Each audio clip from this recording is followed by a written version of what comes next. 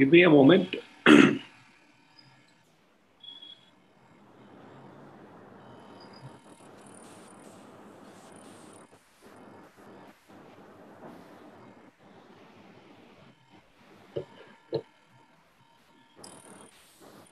Done. Give me a moment. It's happening. This link is happening with the YouTube.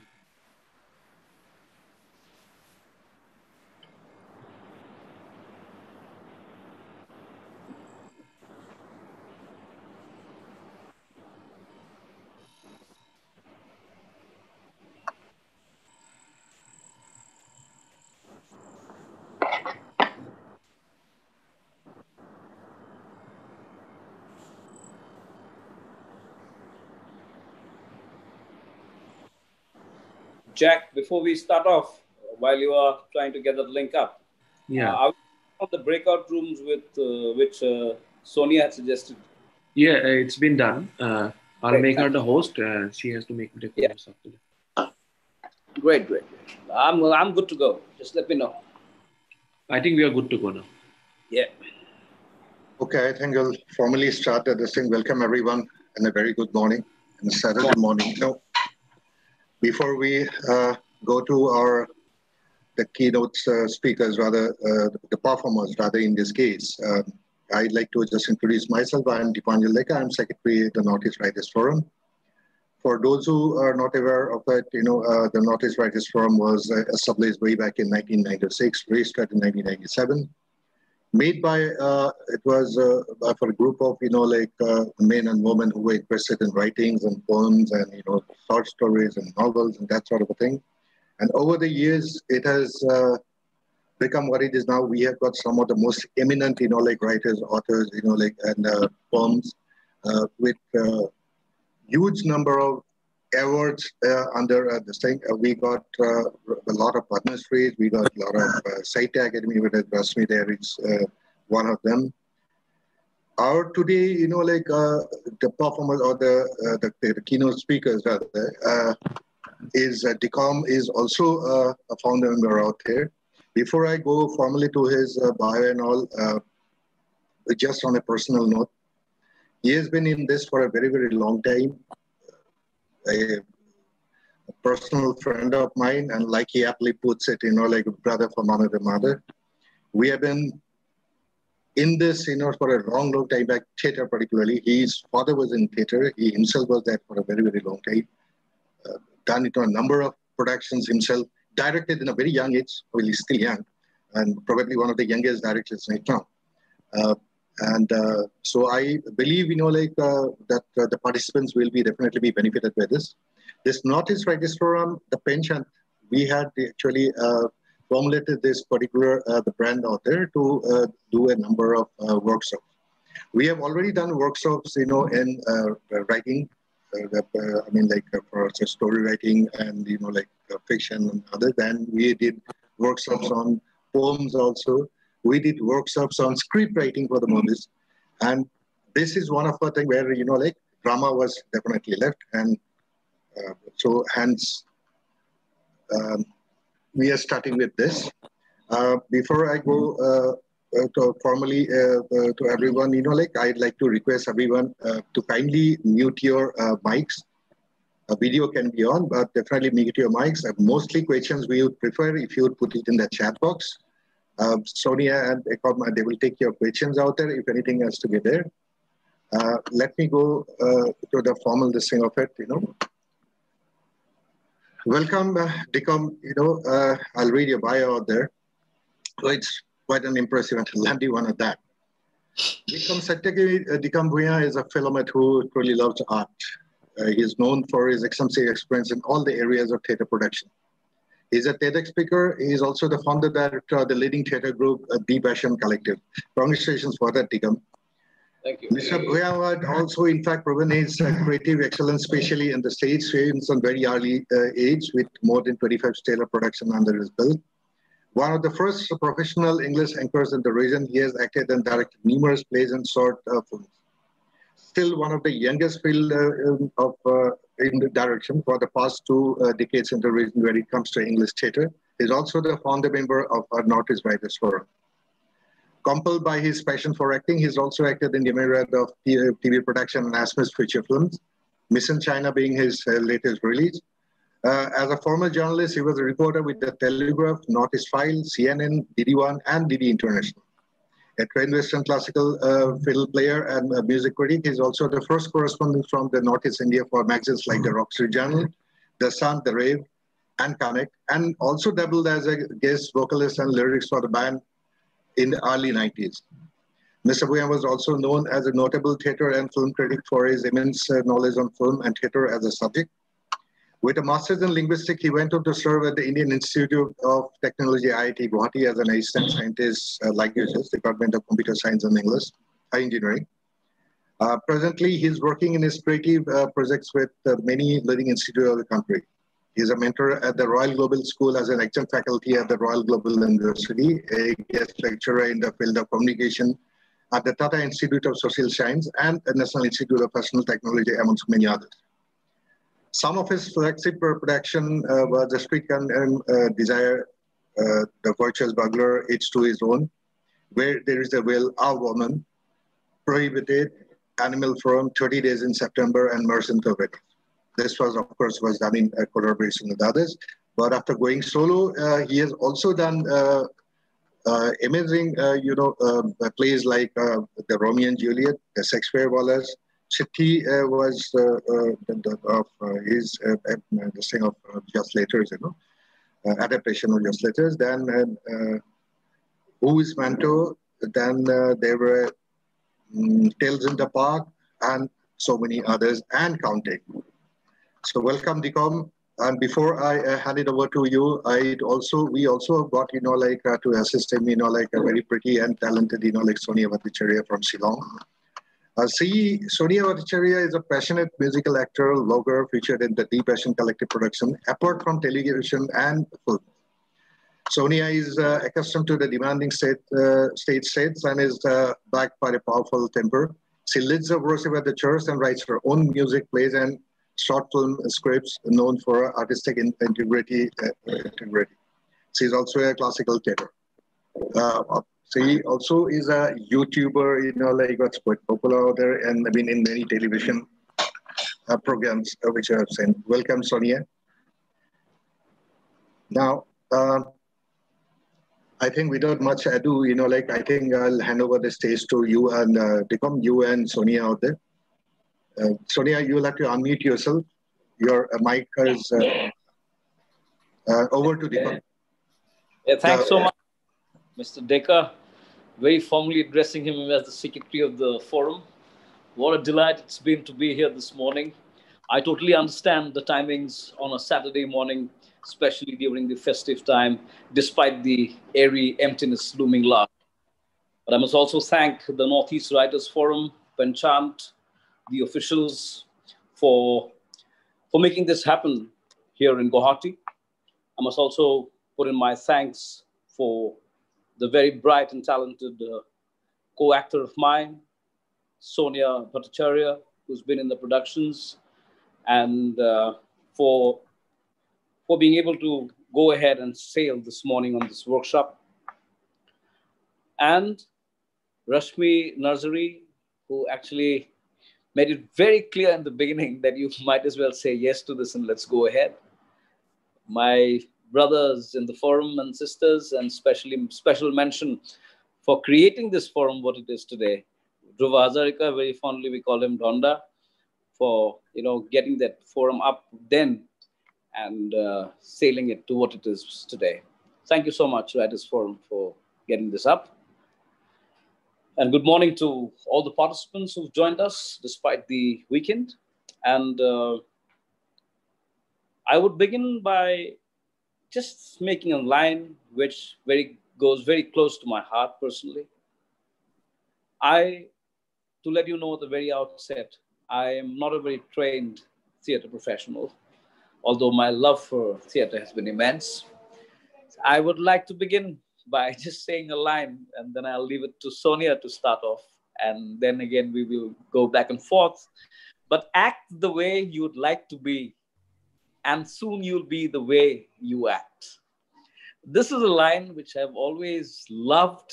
out of the master performer, writer, poet, and singer in Leonard Cohen.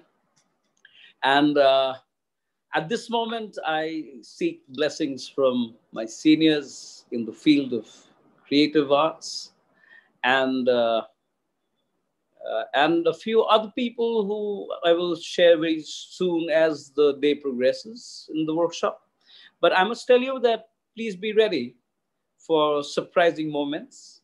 Sonia itself uh, is in a very nice mood today, and uh, you will get to know more about her as and when she takes up this exercise today, this morning. And uh, I, for one, must also tell you and share with you all that I've done workshops in various places over the years, and it's almost been 25 years with the Passion Collective. However, this actually is my first stint at a workshop on theater in the virtual setup. I was, I can't tell you how fond I am towards this craft. And especially when you meet them in the morning, we normally start the workshops very early. And uh, some of them stay with us and you know, we go on for about seven days. But this time, when they said that it's going to go up virtually because of the pandemic, I was a little skeptical initially, till the courage shot up with uh, Sonia saying yes uh, to you know to this workshop to help me with all the technicalities and supporting the entire cause of theatre. Thank you so much, Sonia, once again. And so we thought that we will try and discuss, try and give you examples try and take you through a lovely journey called theater. And keeping in mind that we'll take up a few, um, few areas like, say, trust, the fantastic art of listening, the sense of timing, how you develop trust in this art form, and most importantly, the activity that uh, we are not very cautious, I think, because in the past, uh, years that I've asked a lot of young people, young and old, about what do you think about your breathing? Well, there's not much of a dialogue happening then. So that is one aspect we will try and work out for this workshop. And for everyone who's taken out time to be a part of our happiness, I thank you once again, all of you, from the core of my heart this morning. And uh, I pray for all the souls we lost for the pandemic and uh, not forgetting that we have to be cautious in every step we take to keep the entire world green, healthy, and happy. Over to Sonia. Take it away from here, and we will keep interacting in between. Thank you once again, everyone, being a part of our happiness. Sonia. A very good morning, everyone. Such an honor to be here. And I'd just like to first um, express my heartfelt gratitude to the Northeast Writers Forum that's had such a rich history of more than two decades, and um, also Penchant for putting something like this together. I think the lockdown has uh, really made a lot of us very lazy, and I feel like this is such a good way to break out of that and get our creative juices churning once again. So I thank the Northeast Writers Forum and Penchant for doing this, and I feel like it's not just going to be a workshop, but it's going to be a learning experience for all of us, not just for the participants, but also for us who are the speakers for this workshop. I, like Sir said, it's a new venture, so it's a new experiment, and uh, yeah, hopefully it'll teach us how to cope up with the pandemic in a whole new way, in a creative way. I think that's what artists have always been called to do. So um, I think uh, sir needs no introduction. So I'd just like to get you guys a little acquainted with who I am because we'll be meeting this way every morning for the next uh, two days. So I thought it's good for you guys to get acquainted with who I am and where I come from and how I developed the uh, interest towards theater and acting. So firstly, I just want to say that I believe that people are not just skin and bones. We are our experiences, we are our ideologies, our hurt, our joy, our quirks. I think all of that makes us human. And it's what differentiates us from another person that we know. And so I have this ideology, and some people may say that I don't have an ideology, which is an ideology in itself. But uh, this is what I believe in that uh, we've been created by a creative God, and hence we all have a creative gene in the inside of us. somewhere, somehow, we all have this ability to create. Uh, the way you make your bed in the morning, the way you dress up, the way you eat a meal, um, and then, of course, the more organized forms of art like music and theater. But somewhere, in different ways, we're all creating. So, uh, whether you've been a part of a theater setup or um, whether you've been on stage or not, you're here for the right reason because we're all creatives and we've been born to create. That's that's my perspective. So I'm so glad that we're all here for that today. Um, so yeah, a little bit about me. I thought let's just make this morning a little less mundane. So I have a few things that I wanted to show you before I, I start and we actually get into the more theoretical parts of theater. Uh, so I started, uh, I was, I'm, I'd call myself an accidental actor. You know, I, I just happened to stumble upon this art form and I really enjoyed it. So the first time I got on stage was at the age of eight. And I did this play called Doll's Hospital. And I had a very, very people would call it a rather insignificant role. And I remember I was a wooden doll. Okay, and I remember I had just one line, and the and the line was "Not today, sir." That's it. And for me, that was the most important line. And I felt like I was holding the entire show because of that line. So I said it with everything I had in the inside of me, full energy and you know, full flamboyance. Not today, sir. And you know, and I, I was just faithful with that little line that I had. And I believe if you're faithful with the little, you'll be given much more. And so then the year after that, I got a slightly bigger role and I somehow managed to find the clip. And I thought, why not make you guys uh, acquainted with the kind of things I've done and maybe make you laugh a little as well this morning. So uh, I hope this will work. Yeah, that's me.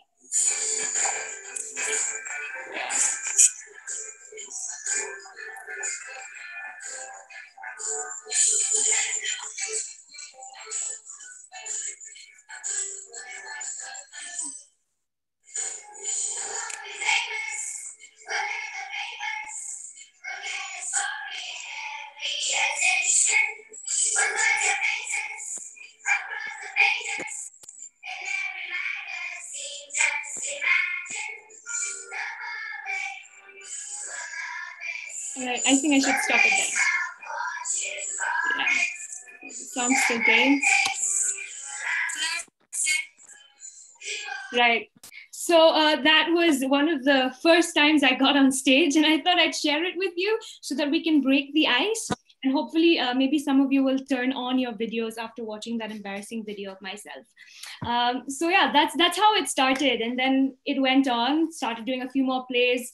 Uh, Peace Child by Oscar Wilde was one play that I did. I was the bird. And then kept doing a few more plays. And then finally, the recent ones I've done was, of course, with my mentor, the Dikamsa. And uh, we did two plays. Uh, we did one on the life of Manto, Sadat Hassan Manto, and the other one was called Park Bench Blues. So, um, yeah, it's been a very, very interesting journey. And I've learned, I've known the Dikamsa personally, I think just for about two years now. But what he's taught me in these two years is more than I've learned in the past how xyz years that i've lived. So i'm so honored to have met him. And uh, hopefully we will be not just teaching you but also learning from you as we interact during this workshop. So thank you so much once again all of you for taking out time waking up early in the morning during a lockdown and coming for this workshop. Let's let's have fun together. So over to you sir. Hey great sonia. That that was nice. That was a great kickstart. And uh, thank you once again for making it so very lively for all of us. I was, uh, I was wondering that from this phone of mine, if I could go into my laptop quickly, I actually wanted to take a quick look at, uh, at the people who've joined us and uh, if they have, do you get to see them in your screen? Uh, yes, you do, but they have to turn their videos on for that. Yeah, let me let me try and just get onto my machine quickly because. So right now we just have uh, Miss Shilaja who's turned on. Yeah, she is very sweet. Thank you so much for that. I see her messages popping up. That's another very good thing. Yeah, um, very encouraging. Very encouraging. But yes, uh, I thought, uh, is that a fantastic echo on my voice? Oh, dear me. I, I think I'm the troublemaker. Let me turn this off. Decom, uh, if you keep uh, two devices on, the interlooping of the sound happens. So you Yeah, have to turn one device off and keep the other device on. Either one of them. Yeah, Yeah, you have to turn off one device. that's right. I just I just managed that. Yeah.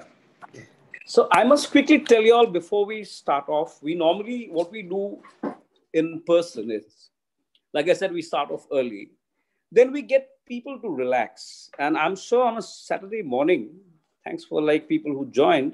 It'll be nice if you all can, you know, open up your screens. And uh, although I may not be able to watch you all, but it'll be nice if you can uh, if you can turn on your screens and let's start off actually the day with uh, what the actual part of breathing is all about. And i'm i'm sure that'll loosen you up and then we can carry on with the day. But i must tell you how important this act is. Like i said in the very beginning that when you ask people about are you aware of your breathing? A lot of people uh, somehow say no we are breathing. But uh, do you realize that uh, the breathing changes your personality? Person's emotions keep changing. If you're upset or angry, you breathe differently. If you are in love and you suddenly fall in love or you trip in love, it's your breathing pattern is different.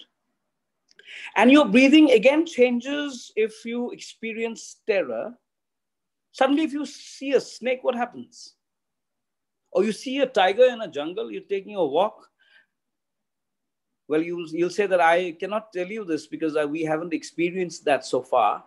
But if you have encountered a snake, and if you, I love snakes, but if you haven't, then what will happen is your breath might just, breathing might just stop for a while.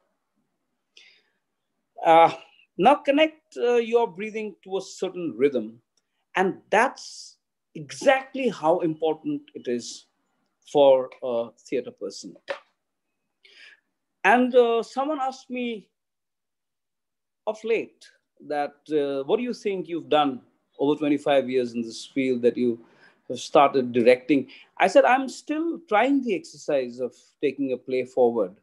And someday I'll be able to, you know, direct. That is the idea. But I, I told him that you know, I want my entire team, not just the actors on stage, but from the person who's handling the sound, the light, if the music is going live, then the technicians who handle the screens, the sets, the makeup artists, all the departments that you can think of. I said that we try to breathe together from the word go. And as it is, I give away the production just on the first day of the play to the team, and it's no longer mine. And that's where I tell them that let's breathe together from now on. And if that can be achieved, well, I think nothing better than you know than production of that whatever you know whatever you see on a performing area. But yes, of late, with a little experience that I have gathered in various places, that uh, we have succeeded a bit towards breathing together. And we start that count, we close our eyes, we breathe in and we breathe out. And we breathe in, we do that for a couple of minutes until we realize that we maintain that rhythm till the production sees the end of the last line and the lights are down and the curtain's called. And then we relax. Same happens in the next few days of the performance. So that, that's exactly how important breathing is all about. So we will touch that, upon that very soon. And, uh, and when you tense, and it's very nice if all of you, if all of you can, you know, relax your minds and relax your body for these two days, for the time that we're together. Because uh, some of you might be able to realize what I'm trying to say and connect because tension tightens your muscles, especially the ones you don't want to get tightened. And uh, that's why, you know, a lot of techniques, I'm not getting into those fantastic techniques of, you know, uh, Sanford, Meisner, Stanislavski and the likes. Let's keep them, let's keep the masters uh, at that level and that position. But just think of a simple things like breathing, tension for that matter. I always remember, you know, even Sonia will agree that, you know, if you come for the rehearsal space, you can, you should leave your tension behind and leave all your stress behind so that it's, um, you know, so that it, one can make out that you are actually listening and delivering. I know that it's the first uh, first day it's me doing a lot of you know monologue. I hate this myself. I like a lot of dialogue happening as it is. But uh, then just to get you into that mold, I thought this would be a nice experience to share.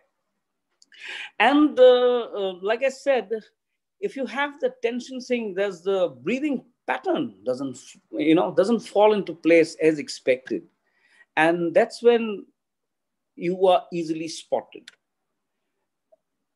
i have had two parallel lives like i said in the beginning when you not you guys were not attending and i have had a certain kind of uh, you know a lifestyle which uh, which is not very usual and then i have to undergo a lot of uh, a lot of uh, what do you call changes in me to you know get into this mold what I am presently.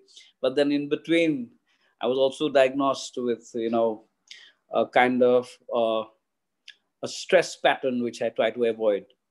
And then I was told that I have a very rare personality in that I am FJ personality person, which is introverted, intuitive, the feeling and judgment. I, I, don't know how many of you are aware of the INFJ personality, but that's what the Myers Briggs personality types. But we're not very easy to get along. However, just to take that tension part there, you don't realize how important it is when you relax your body, which I want all of you to do at the moment. And uh, I will again try to request. I will uh, I will come to that breathing pattern, but uh, it's nice if uh, Sonia, if you're there still. Do you think? Uh, yes, I'm. Yes, I'm. Yeah. Do you think we're sailing onto that? Are, are we all in the same page and we're sailing okay so far? I hope so. Yeah. Can we? Can we? What about the people uh, who are present in the you know in our set in our workshop today? Can we uh, hear someone say together YES after the count of three, if we all together, that give you the time to, you know, unmute yourself. But are we on the same page and are we okay this morning? Yes. Yes. Yes. Yes. Oh, yes. yes. absolutely. Oh my dear. And at the count of three, can we hear a yes together? One, two, and a three. Yes. Yes. Yes. that, you already made my day. Huh? That's that. now, can I request all of you this morning to maybe, I don't know, I hate to say this, but if you can rise and put your hand on your bread basket and uh, and if you know where your diaphragm is place it there and try to breathe in and sonia will you take it from here yeah Sonia is a voice artist. She sings as well. Um, so it'll be nice if she takes it from here on the breathing exercise try to do. And, uh, and you are, I must tell you this, that uh, theater does no harm. And you are in a very safe place. And that uh, these human activities don't really hurt anyone or anything except for its carbon footprint. But that's okay for now, since we are all indoors. And uh, how we've been harping towards going and attending a performance live, till we are now virtually agreeing to start off with a little exercise on your breathing so that you're aware. And uh, I must tell you, Sonia will now guide you in the process of breathing in and I will again take it after she ends a bit with another two small pointers. And just let's not forget that it's a part of what makes us very human theater. Sonia. Absolutely. Thank you, sir. So, uh, like sir mentioned already, that breathing is a very, very important part of not just theater, but if you want to even be a good public speaker or you want to sing, you know, breathing is very, very important. Um, so, a lot of times we're actually breathing the wrong way. So, whenever we're asked to inhale, we actually stuck, uh, suck our stomach in Whereas the opposite is actually supposed to happen. So when we're supposed to inhale, your stomach's actually supposed to expand. And when you exhale, your stomach is supposed to, you know, it's supposed to contract. So that's the right way of breathing. So uh, can we just put our hands on a diaphragm region? And as you breathe in, let's just try to do this. Let's inhale together. One, two, three. And you exhale. And your stomach should contract. So let's try this again. Yeah, let's inhale once again. And you exhale. So this actually helps to strengthen your diaphragm as well. And we've done this in singing also. It makes singing a much more simpler process. Of course, this is not something that we can only do today and ace it. So it, like any other exercise, it has to be something that we keep at and do daily. So hopefully um, all of you who are participating in this workshop will continue to do this every day as well. Um, so I have read this really interesting quote, which says that the voice is the most perfect musical instrument. And this was um, said by one of the most popular composers. His name was Arvo Pärt. And that's how he, that's what he said, that the voice is the most perfect musical instrument. So if you play an instrument, or perhaps you've seen someone play it, you know that an instrument can be tuned and you can make it sound in, in different ways. It can sound different. An acoustic guitar can sound very different when played by different people in different styles. So same way you can actually train and tune your voice as well right? Um, so I'll, I'll just share a little experience with you. If some of you think oh i don't have a good voice or i wasn't a singer or i'm not a singer i don't have god's gift and all of that well you can actually train your voice to a great extent so I remember being in school and auditioning for a musical. And uh, the, the only thing that, you know, the lady who was taking the audition told me was kindly do not sing in public ever. Do anything in life, but don't ever sing live. Do something else. And I, I, I couldn't sing in the musical because I was able to act. Um, somebody was doing the singing part for me and I was just lip syncing but that really hurt me somewhere. And when someone tells you you can't do something you should run after it even more. Because there's nothing you can't do. That's what i've discovered about the human body and about the human the way humans have been created. We can do anything actually when you set your mind to it.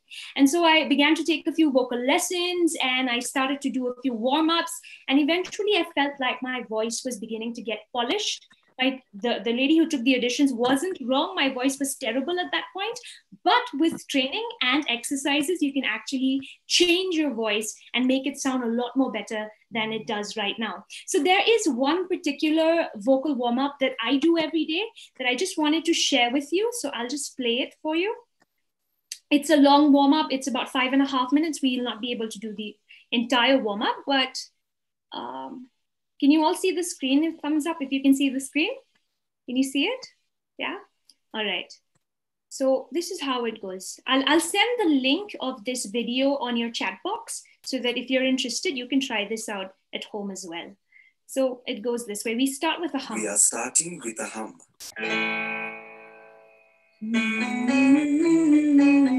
Can you do it with me? Come on.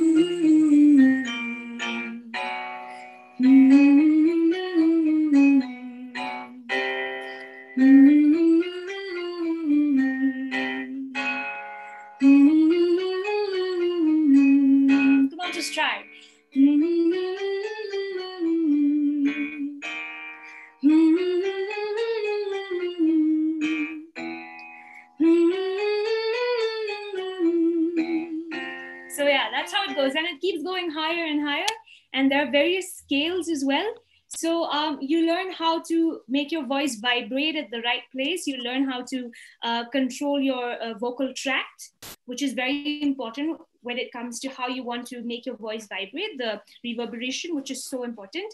And so, yeah, this is a warm up exercise that really helped me, and I'll be putting down the link on the chat box in a while. So, um, certain of course now if we talk about theater i think of course sir would be the better person to talk about this but just a little input since we're talking about voice now um, you know verbal communication has always been a very important part of theater right from the time it started in greece um, when, it, when we're talking about the amphitheaters, the way hymns were recited, it's always been verbal. Of course, we do have non-verbal theater now with mime and clowning and ballet and stuff like that. But um, mostly verbal communication has always been a very, very important part of theater. So um, few things that are important is, for example, timbre of your voice. That means what's the quality of the sound you're making? Is it mellow? Is your voice silky? Is it is it light? Is it dark? that's what we call the timbre, the quality of sound. And then we also have the tone, which is very important for us who are interested in theater. For example, it's not just what you say, but how you say it. For example, I can say, I hate you. I can say, I hate you. Or I can say, I hate you, yeah. So the minute you're, the way you say it, the meaning changes. Whenever I say, I hate you, it's like a more friendly, oh, I hate you, you know? But when I say, I hate you, I, I mean it from my heart. I hate you. So the same line can be said very differently depending on the tone of your voice, the, the way you modulate your voice. So that's another thing that we have a few activities lined up for you. So we'd love it if um, some of you are sporting enough to turn on your videos because we will, I think, eventually be having a few activities if I'm not wrong, sir. Yep, yep, yep. Yeah, and, so, uh, um, and, and Sonia, before we, you know, uh, do you want to add something more to the breathing? Because I have a small thing to ask everyone to do. Yeah, yeah, Then absolutely. So I think it should. Yeah, Yeah. so uh, what Sonia was try- trying to tell you was exactly how important uh, breathing is and also your timbre. And I'll, I'll just add to what Sonia said. Now, suddenly in a crowd, if uh, Sonia hears a voice saying that, hey, Sonia, and without looking back to the direction of the voice, if she thinks that, oh, that's DCOM calling me, that's the recognition of the timbre, Yeah. the so it is it plays a very important role and these are you know these are things that strikes your mind and you know deep within because you don't know that you haven't seen the person and you recognize the voice pattern and that is not the voice that is actually the timbre that you connect with yeah Mhm. but now all of you who are present here this morning if you can just uh, it's like a martial artist in taking his stance like you know if you can stand relaxed with your with your feet apart something like something like you know if you can stand up and you know you know get into a position which you're free like you don't stress anywhere you like um, you know not stressing like your neck muscles very much. Neither are you stressing any part of the body but you're taking a comfortable stance. And uh, then something like this and you can close your eyes everyone. And then breathe in where your your you know diaphragm and your stomach expands. And then when you release it goes deep within the deep inside yeah? so now to get into that little rhythm of breathing which i thought i will just take up today so if you all are ready i guess you all are ready yeah so it will just guide you through a certain rhythm pattern here. So when you breathe in, just count five. So one, two, three, four, five. I obviously can't breathe and take the count together, but if I say one, two, three, four, five in a certain pattern, you were supposed to take your breath in. Then the next one, two, three, four, five that I will say, you're supposed to hold your breath deep inside here. And the next third one, two, three, four, five, you're supposed to release the air. Okay. Now, with that, and if you, like Sonia said, that it's nice if you can do this every day. And it's so nice to spend some quality time with yourself. And that's another thing that I'll come to after I finish this breathing pattern with all of you. And I'll exactly tell you what I got to hear when I asked someone that when was the last time you spent time with yourself. Anyway, so I will give you the count. And then consciously, you will try to get a rhythm into your breathing.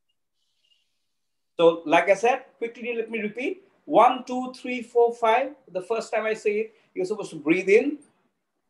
One, two, three, four, five. You're supposed to hold it. And one, two, three, four, five, release it. Okay? That's the first step. You all ready? Here we go. A one, two, and three, and four, and five. One, two, three, and four, and five. One, two, three, four, and five.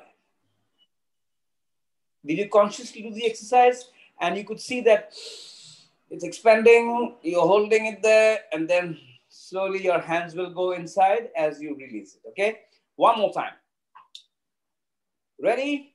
One, two, three, four, five. One, two, three, four, five. One, two, three, four, five. Now get ready for a slight change. You will now, instead of five, take it to 10. I will give a count till 10.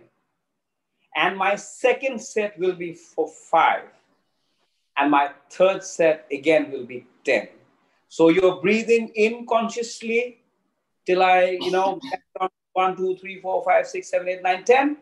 Then you will hold it one, two, three, four, five, and you will again release it one, two, three, four, five, six, seven, eight, nine, ten, and you will try to see that rhythm deep inside you. Just feel it for once and consciously do this exercise. I hope you're ready.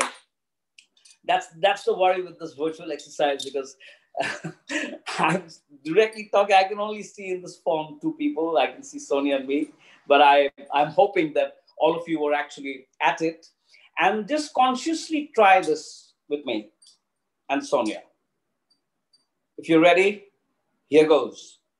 One, two, three, four, five, six, seven, eight, nine, ten. One, two, three, four, five, one, two, three, four, five, six, seven, eight, nine, ten. Some of you may have succeeded. Some of you may have, you know, said, oh, I can't take it for so long. No big deal. And with that, I must tell you that this kind of patterns actually, if you try and do it every day, it gets you into a certain rhythm of breathing which is so very important for not only actors, singers, and the likes, but for generally everyone on planet Earth. Because then you're consciously doing something which actually, you know, is a very integral part of you. That's your key to confidence as well. And uh, your diaphragm actually, uh, I, I'm, I'm sure a lot of you will agree with me, or some of you might already know this, that your diaphragm is your key to confidence. If you know your diaphragm pattern and you know your rhythm in your body, these are keys, the main key to your level of confidence. Okay. And I'm going to end my breathing tip with the last pattern. We did a 5 5 5, then we did the 10 5 10. And now Let's do a 10 intake, 10 hold, and one release. Now, this you will enjoy because you, if you consciously hold it up for a while, and then when that one comes, you release it. You're supposed to do this for five, seven times, uh, a particular pattern. And uh, very slowly, if you keep doing this, tomorrow again, we'll do this again. If you just remind me, Sonia, once or you take it up yourself. So that if you, you know, workshop, if you do these things on a regular basis, that's when you see, you know, it shaping up and making a little change, making up a little change in your, you know, in your entire lifestyle or the way you walk, the way you talk, the way you sit, and the way you exchange, or whatever it is, you have to have the little consciousness in your entire body. And only a healthy body stays in a healthy mind, a healthy mind stays in a healthy body. But this is something you have to really know and master it. I'll give you a few other things, but let's try this last pattern for once. So you get back into your, you know, I've every time I do this breathing thing, I feel like a you know black belt 10 dan or 7 dan kind of a martial artist. And you're ready now? Take your stance. And at the count, it's 10 inside, 10 holding, and release it by saying, and just full pressure, release it when I say one. Clear? If the directions are clear here, let's start. One, two, three, four, five, six, seven, eight, nine, ten. One, two, three, four, five, six, seven, eight, nine, ten. One. How was that? Please take your seats, all of you. If you, if you did the standing with me, please take your seats. Now, if you go on doing this for at least five, seven times in the day, you slowly become conscious of your breathing. And if you are conscious about your breathing, at the back end, your body will gather and gain more confidence because then you're working with the diaphragm, and that is your key to confidence. You must have, you, you, you will, all of you will agree that there are only some people who said, I'll give it a shot when I have to go up on stage and perform. And there are a lot of people who say that, oh, I just can't. Are you kidding me? So that, that's the difference. And slowly, if you carry on mastering this, and if you can tell your friends that if you're conscious of your breathing and if you con- uh, consciously working with your diaphragm, you actually garner a lot of confidence.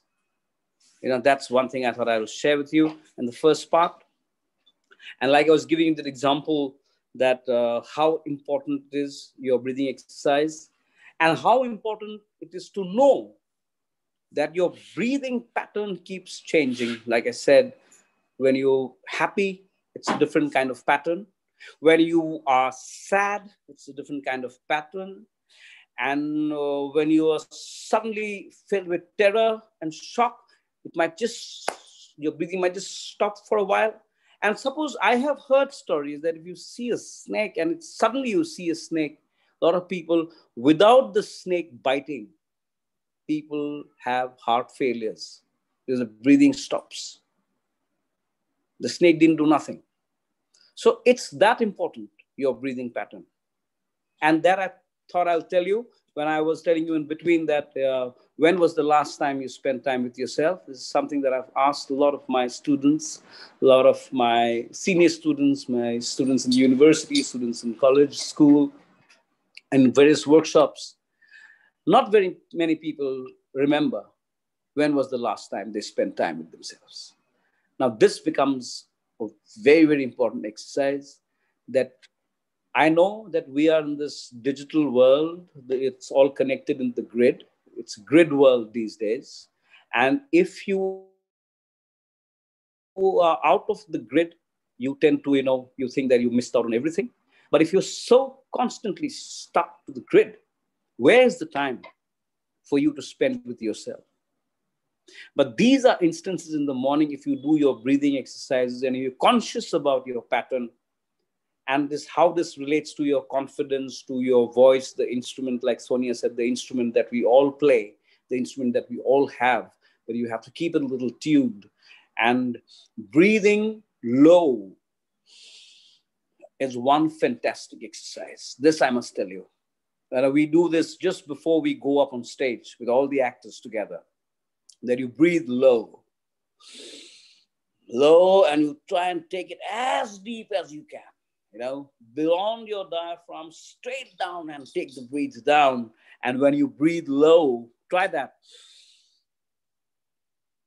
And when you breathe low, add a S in the front. Breathe slow and low. And that is one trick that actually gives you that boost, that energy, and that confidence. And with that few tricks, you just, just go up onto the performing area and give it your two shots. Sonia, take it away from here again. And let's see, let's hear the reactions. Are you guys okay there with us? can we hear a clap at three? And that three, one, two, three is the time for you to unmute, okay? That's what I'm, that's one thing I'm trying to do at the moment. One, two, and three, unmute, and let's hear. Are you okay? okay. Sounds, sounds really good. Sonia, you want to take up something else at the moment? Did you guys actually uh, try the breathing? Yes. Yeah. Great, great, great, great. Yeah, um, so it's, it's actually pretty interesting that we're talking about voice, but we've yeah. um, not really heard anybody's voice so far. We have two people, who, two participants who turned on their voice and Let's turned do on their screen. exercise. So I, I, think it'd be really nice to at least uh, quickly do this. Maybe you can just unmute yourself and just tell us your name and uh, maybe why you've joined the workshop. That'd be a nice way to get to know you. At least. And Sonia, uh, if I may add. Here and, Sonia, yeah. if I may add on why you joined your workshop, your name, and uh, and also two things that you don't like.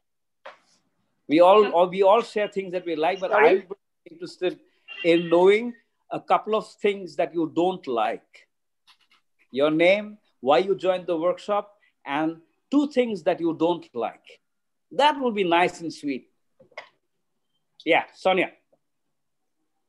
Yeah, so I think we can start with Miss uh, Shilaja. Oh, okay. okay, uh, my name is Shailaja uh, and I've joined from Bangalore. And uh, what else should I say? Why have you joined the workshop? Okay. Oh, I love theater. I've been in theater on and off, and uh, wow. And I mean, wherever, whenever, I've been in theater continuously. I should say from when I was a kid, and I've been part of Ranga Shankara in Bangalore. Uh, uh-huh. If any of you have visited Bangalore, you would know Ranga Shankara. Yes, we do. Yes, we do. Yes. So I was part of their theater productions, some of them, and uh, yeah, I'm also a storyteller. And two things I don't like, I can say that uh, I don't like fake people. Mm-hmm. And uh, I don't like, uh, I don't know. I think it's okay. I don't yeah. remember. That's exactly. So welcome to welcome to this workshop once again. Thank you. And Thank you. So far, I'm very glad. Is, is, is it okay so far? Are you are you on a oh, good yes. journey so always, far? Yes, yes, of course, because it's always refreshing to revise, revisit whatever you know, you don't know, pick up new things, everything. So I never miss a chance to join a theater workshop. Likewise, yeah, we get to learn from each Thank other. You. Yes. Yeah. Great. Hey, DCOM, can I speak? This of is course. Need you ask? Peanuts. but I wish. Hey, I welcome, welcome. I'm going to put yeah, up my video. We want to see you so badly. We just saw you. I, like I said, I can't even I can't even see who all are there. But such a delight. That's Tinat Atifa Masood. Before she speaks, I must tell you all that she was one of my finest actors in the group, and uh, this uh, she's been there since the time I started in our heydays. It brings back so, so much of fond memories, that I can't tell you in words. It's always such an emotional exercise being with you guys and I hope that we can again, you know, get back to stage together very soon. I want now to, that we want now that we're getting younger, we should get back to stage yes, together. Absolutely. Yeah, over to you. I was never older than 16, yeah. I, I bonsai. 16 ever. bonsai at 16, I have never grown up. My family keeps complaining, my son and daughter, they've all grown up and look at me. I'm still stuck badly in 16. Take it away, Tina. Good to see you.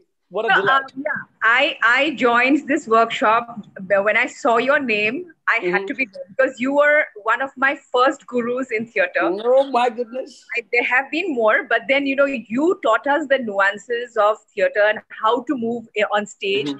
You what you did was special was if I don't know if you're going to speak about this, but you actually mapped out everything. Which actor would stand where, where she would come forward, he or she, whoever but you mapped it out so well. And then later, when I was working with other directors, I never really got that kind of an exciting experience, you know. And I always missed you so much. And I said, I wish DCOM was here. So, so I joined this uh, workshop because I love you so much, DCOM, and you are one of the best teachers, best uh, drama theater person ever that I'd ever met. And I learned everything from you. And if you're asking me what I hate, I hate communal bigots, bigots, whatever you call them. I, I, I hate those communal religious, whoever people, whatever they're countries. So I, I don't like that. That's it. But what a delight to have you, Tina. I hope you'll be with us tomorrow as well. And where's your little one? You should have also got him in. That he writes so so well. Huh? But get him tomorrow if he's, yes. If yeah? All the best. All the best. And all the best, Tina. Stay on, stay on, and I will actually share with them how I do that exercise on a blank sheet of paper. Yeah, great to have you, Tina. Yeah. Lots of love to you. Bye. Lots See of ya. love to you as well and your family. Yeah. Thank you. See you. Who's Bye. Up? Bye. Stay on. Yeah. Who's next? Sonia? I think we have Miss Reshma. Yeah, hi. Hi. I'm Reshma. I live in Guwahati. My interest in theater started when I was very small, not even five years old. And my parents took me to watch these movies, uh, these uh, plays, Julius Caesar in Bengali, wow. in a place called uh, Newfield in Guwahati. That's where they used to play these during just before puja. Right. That's when I saw Julius standing on stage and, you know, a remarkable figure. And for a small five year old, that really stayed with me. And then I joined uh, Garima Hazarika's uh, dance classes, and that's when she introduced me to dance drama. Played a couple of lead roles of the story of the rabbit, uh, the um, mm, the uh, the rabbit, the hare, and the lion. The you know, those kind of folk tales, which yeah, the Panchatantra tale. Lovely. And I joined this workshop because uh, yes, DCOM, I know you from your childhood, and uh, I thought it would be a wonderful opportunity uh, to learn from you. And uh, things that I uh, I hate, I hate uh, would be hypocrisy. Yep. Likewise. I, yeah. I just cannot. Yes, I cannot uh, bear it, and uh, um, just a second of it just really said, really, really, sort of turns everything upside down. True. So yes, I'm learning now, and uh, I just love your uh, the way you're conducting this uh, workshop, Sonia as well. So looking forward to it. Thank you. Stay on, my dear, and such a delight to have you with us. Such a delight. Freddie says hi. Freddie says hi. Yeah, hi, hi. Is there anyone else who'd like to unmute and perhaps introduce themselves, even if their videos are off? I think it'd be nice.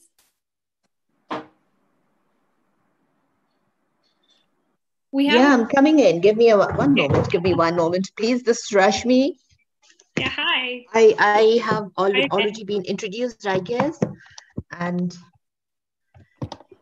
yeah, I'm here because I'm also into a wee bit of storytelling. So I thought, let me okay know from the D and uh, Sonia, the beautiful, pretty, lovely, energetic Sonia how I breathe and how I hold on to my confidence as and when I do my storytelling. So I thought, okay, yeah. And about not liking two things, I guess there are not too many things, not too many things that I don't like. I guess I'm in love with all many things. So that's it. So here I am for your workshop. Great, great. Amazing. Who's going next?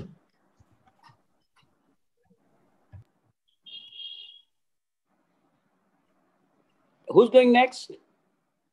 Let me ask. I see this. I see the names now on the phone. Uh, let me ask Ananya Count to come and you know introduce herself. This little one, who's a bright little one that we have, and uh, she's been a part of the exercise. So Ananya, let's hear it from you. Come on. Um, Hi, good morning, sir. Um, good morning, everyone. My name is Ananya Khan, and um, I have the good fortune of being one of DCOM students, like much of us here. Um, why I joined this workshop is even though I knew about it quite late, I joined it simply because of sir. And when he mentioned it, I knew I couldn't miss out on such an opportunity. Um, two things that I dislike would, I mean, nothing comes to mind as such, but perhaps, um, like many of us have said already, I dislike, um, a blatant show of lack of empathy that we see among a lot of people. And I dislike I dislike the ability that a lot of people have to take things for granted because we do not have anything for granted. So um, that's it about me. Thank you so much for this workshop, sir and ma'am. It's it's an honor to be here. Thank, Thank you. you, Ananya. Nice to hear from you. So, anyone else do you think Sonia would like to speak? Um, Any so I, I had seen, um, I think Pranami Bora, I think her video was on for a while as well. I saw her coming in and going out. So if she's still there, it'd be lovely to hear from you. Yes. Uh, hello. Hello. Hello. I guess you can hear me. Yes. Yes, we can. Uh, uh, my name is Pranami uh, Bora. I'm from Guwahati. I am the nephew of Rashmi Narzary, uh, Buni Jathai, and I joined this. Nice. I joined this meeting because uh, I joined I joined this meeting because I am very interested to drama, acting, theater. I am also doing uh, regular classes in Bar Studio Theater with Pakiza ma'am, and I am very interested to know some more few few things, more means more things on drama. That's it. Uh, I have done theater three times, I guess. Okay. Thank you. All right. Thank you, Pranami. Lovely to hear from you. Thanks for joining. So I think this this works better if we can call the people out. Maybe they'll Yeah. inter- interact a little more. Um, so would you like to go next? Pick someone before we No, move it's okay. Then uh, no, we can we can we can we can carry on, and then we can you know Yeah. take another break, and then again see who's willing to you know open up more in the process. Absolutely. Yeah. So Sonia, why don't you take the next step forward? Right. So um, it's so amazing. Firstly, I just want to add that um, all a lot of the people who've joined this workshop are already veterans uh, in the art, and they've already Yeah. performed. Um, but I think that's just the beauty of theater. You just never get enough of it, and you always just want to keep coming back to receive this vibe and to refresh your memory of what it's like to be on stage. And it's also just the company. I think theater people are some of the most enthusiastic and some of the most kindest people I've met and the perspective to life is just so different. The concept being exhibit A, and uh, um, so a lot of you have already mentioned that you're here because of your love for theater. You've already performed on stage, and so let's just talk a little bit more. I think um, Yeah. been a while since we've gotten to talk like this. Ever since Corona entered our world, uh, we've all just been locked down, and um, so we've not had the opportunity to really meet with people. So it's so nice to have uh, Shailaja ma'am from Bangalore. How nice to have you, and so people joining us from all over. So that's lovely. So why I like theater, I'd just like to add, since we're all talking about this, um, what attracted me to this art form is the fact that a um, when you get of course the fact that you get to live so many lives um, and live so many experiences that perhaps you'll never get to experience firsthand in your own life. And um, so one thing is that whenever i get on stage certain roles because obviously life's never perfect. So you've got ups and downs and you've got your baggages that you have at home all of the problems that you have personally but when you come on stage you somewhere get to leave that and you get to live a different life. So i love the freedom that the stage gives you.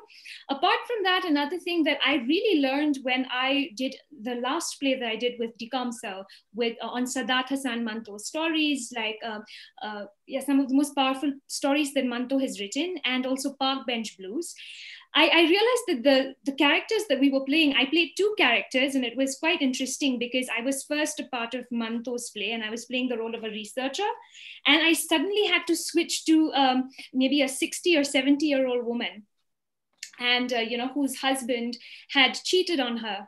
And she had just she was trying to pour out her heart to someone that she met on the on, in the park and uh, there's there's you know the lines just whenever i would get into those roles or i would be i would try to relive the partition era you know it would hit me that we're in a much better place. And so that way when i'd come out of that role i'd feel like Whew, thank god i'm in this life. You know, thank God I don't have a husband yet, but you know, hopefully he won't cheat on me like this woman unfortunately had to go through.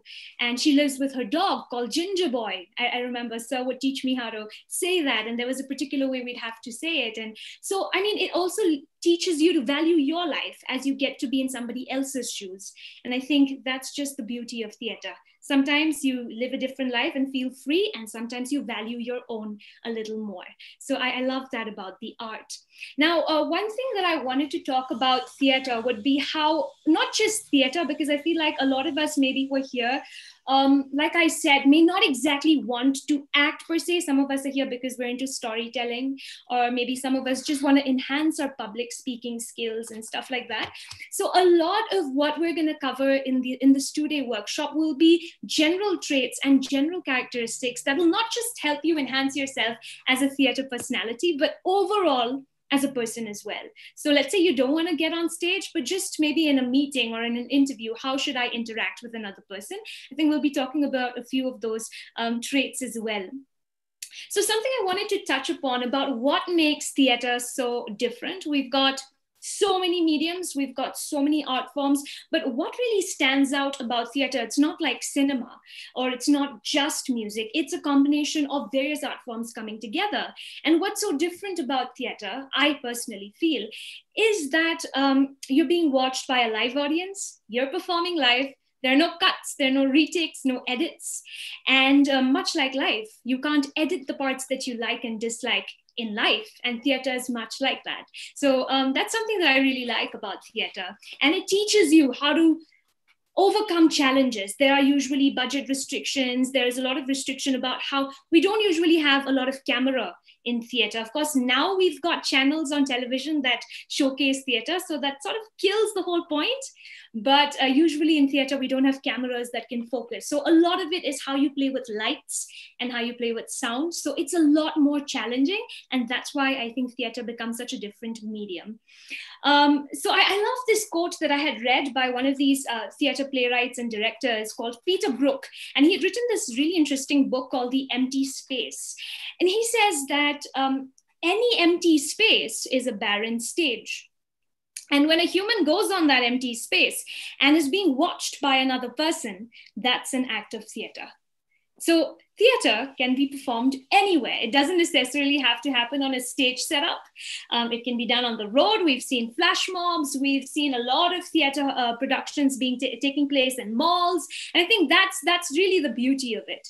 And what I personally have seen is that our generation needs to revive this art form of theater which is why I'm so glad that we have started a workshop like this and we have youngsters joining in. We've also got a more experienced veterans joining in. So it's amazing that this theater community is coming together to revive this art form that needs the recognition that it deserves because it is such a powerful medium. So I think Sir would agree with me. It's not, um, yes, I, I, like it has been mentioned earlier, I ventured into new media. I do like to use Facebook and YouTube to, of course, um, express creativity. I mean, why not? But what makes theater so different is that it's still such an independent medium. I think that's the power of theater. For example, let's talk about our nation now. We've got certain ideas and certain values that are really becoming dominant. And of course, we are free to think otherwise. But if I were to make a video that may not exactly be in tandem with the idea of the establishment, I've, I've had these experiences myself where the video has either been censored or the video has been removed from YouTube. So, you know, these new platforms, though they are very, very efficient and they help you to reach a wider audience, there's also a lot of restrictions that are added to it. You know, it's, it's very easy for you to, your video to get put down or for your account to be banned. That's something that we're seeing. But theater cannot be stopped.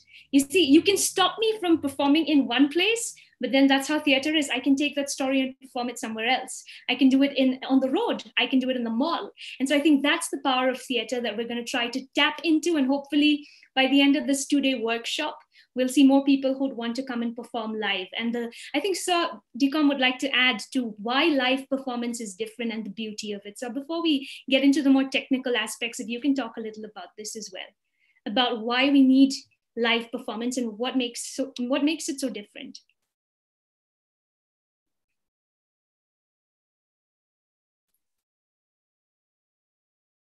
So can you hear me? Well, think his video is stopped. Sonia, can I share something about a live performance? Yeah, absolutely. Okay. Um, you see, when I was in JNU, I was part of a production called uh, Naga Mandala by Girish Karnad. Yeah. And I had never heard about this play before. And then we had the first reading, and I got interested. So earlier, I used to be on stage performing. This time, I was in the production team. And this was in the open air theater in JNU. So uh, when we rehearsed, we rehearsed in a hall, a student hall. So when the day we performed it on two nights, so the uh, protocol was that, and our university is uh, very close to the Indira Gandhi International Airport. So we used to have these airplanes flying overhead, and they would make a lot of noise. So whenever a plane used to take off, the actors they would have to freeze for those 10 seconds. So even if you're in the middle of the climax or a very important speech or a good action scene, the minute you hear the plane take off and it reaches your sound, zone of the university, that's when all the actors used to freeze and the audience also used to stay very quiet. And that was something. And that, uh, you know, that production experience took my learning of theater to an entire different level. I'm so glad I was a part of it. Yeah, Thank absolutely. you, Yeah, I think we can all relate to that. I mean, live performance is unparalleled, n- not like any other form of art, not like any form of. Yeah, of course. I guess uh, that's what Shailaja just mentioned, Naga Yeah. Mandala. Yeah. Okay, okay, yeah, that's it. Carry on, please. I'm sorry for the interruption. Sorry, it was Reshma who mentioned, uh, not I. Nagamandala. Uh, what was it you mentioned I didn't anything now. uh, a while ago? You said you were with that particular theater group? Oh, Ranga Shankara. Ranga Shankara. Okay, okay. I'm sorry, I got confused. Yeah, that's it. All right. I think we've uh, lost Dekamsa, I think, his c- connectivity. But um, so yeah, we, we are talking about this right now. We're talking about the love for live performance. I think that's something that is so important to understand about what is so different about this art form and why it's important to preserve it. so if anybody else would like to add on why what what do you think may why do you think theater is different from other art forms what makes it different yeah uh, live theater especially is so vibrant because it gives you a real high because of the response of the audience to the dialogues you say and it makes it more alive and charged than any other form is what i feel Absolutely. I agree. It, it gives you a different thrill, doesn't it? Yeah. So um, who else would like to add? Would, would any of the younger ones like to speak as well? Ananya, if you're here, if you'd like to add, why do you think theater is different from other art forms? Um, I, I don't have that much of knowledge to say something, but then again, I believe theater is different from other art forms simply because you've got so much more scope in it. You don't have to confine yourself to a particular um, way of acting. You have the ability to improvise every time you go up on stage on the same production. And I think that's something that's very interesting about it. Absolutely. And I think um, there's there's nothing better than speaking from your own experience. So um, it's amazing that we have people from all age groups um, speaking from their own experiences. Um, just a minute, I'll just have to make someone co-host. All right. Okay, would anyone else like to add before we move on? Would anyone else like to add? Um, Darshana Bordoloi is here as well. Uh, Amir Soheli, there are quite a lot of people. If anybody would like to add.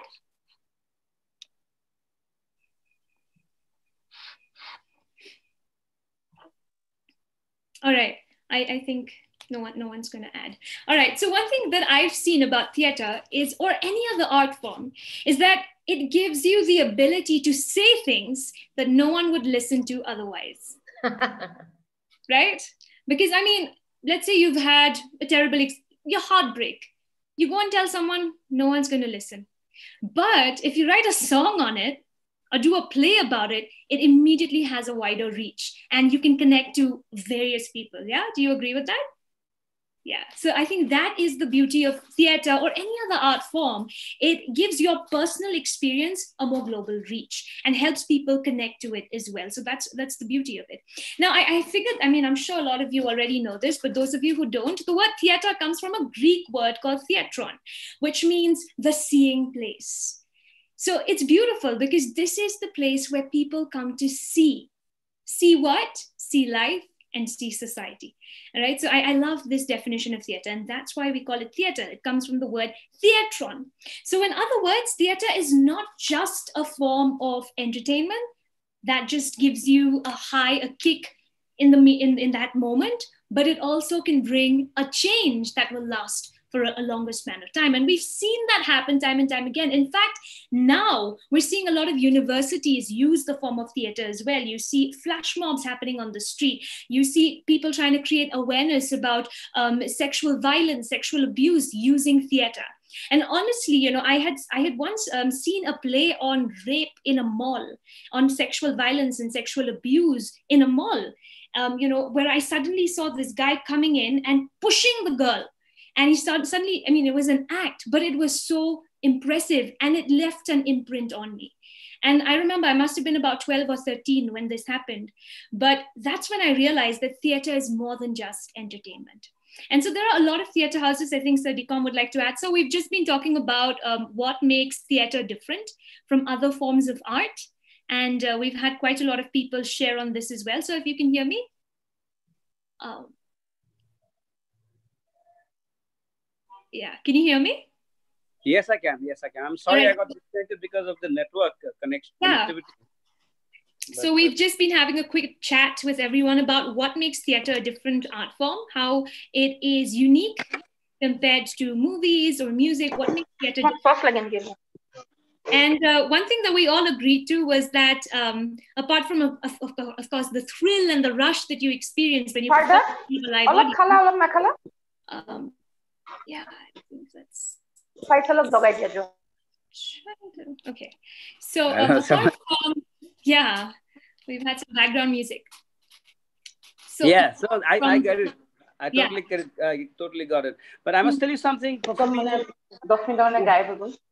who have come in, can I request uh, someone who is uh, participating and taking on some something on a personal side to you know keep your microphones mute yeah. so that we can carry on with the people who are actually into the into the feel of that workshop yep so i must tell you my personal little experience uh, i don't know it's worth sharing or not but uh, especially for Shailaja and the likes who joined in from different parts of the country I was raised in a place called Uzan Bazar in Guwahati. I was having this quick chat with Sonia the other day and uh, I realized that we have this fantastic river flowing.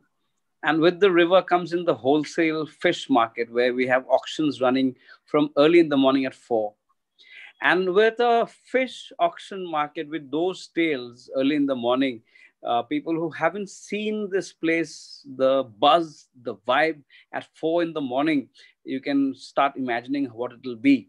Then comes in uh, the language per se, then comes in the mood that plays amongst the people who are into this business and uh, reflecting upon the area.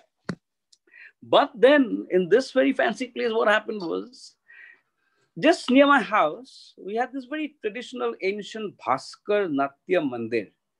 And this was created by a few creative stalwarts of the city then and was one of the first performing places of Guwahati.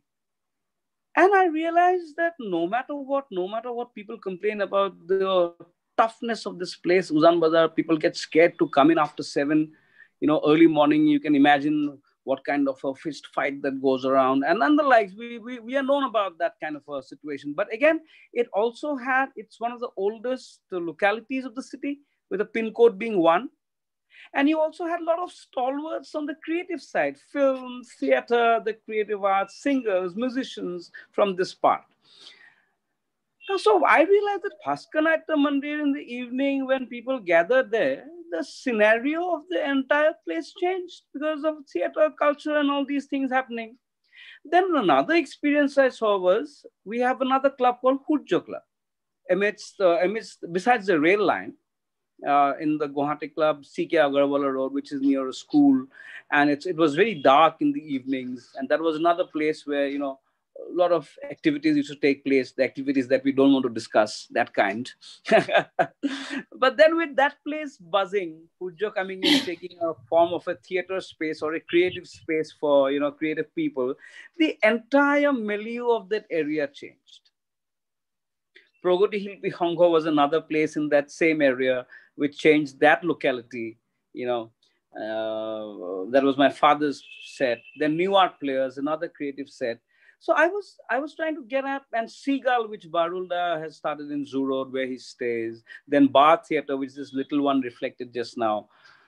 All these spaces that are created in the city it changes and revitalizes these neighborhoods. And that I think makes a lot of difference to the society and the growth of the society. And I thought I'll really mention this in the workshop. And each of these theaters opened for new audiences. People started flooding in. And besides, came in those small eating joints. Of course, jobs were created of course now it's a different story. I was hearing uh, a lot of people from national theatre in london also losing out their jobs and the likes. I was there last year myself. And uh, we had a little workshop there as well. But you know with these eat, eating places and restaurants coming up jobs opening people flooding to these performing spaces the sidewalks being improved and the likes the once grim neighborhoods are becoming vibrant hubs of activity now that I must give it to the creative art forms, especially theater. And um, I'm so glad people are still on with us this morning for the workshop. And now, Sonia, do you think it's time that we get on with a, something that we can demonstrate and show on listening or something of that sort? Or do you want me to take up something and you are getting ready for the next whatever? Can I can I talk, can I then quickly talk about silence if you Yeah, have... absolutely. Yeah you, you feel free to add in. And I can I request all the participants, young and old, uh, the theater lovers and the likes, that if you think that you want to join in a part of this discussion, what we are trying to relate, please, please feel free to share your point of view as well and make this workshop your workshop and more vibrant. Okay, that'll be really appreciated. Now, one thing that really fascinated me in the theater space, uh, this my old actors in Tinath and all will also agree, uh, that uh, I really enjoyed silence.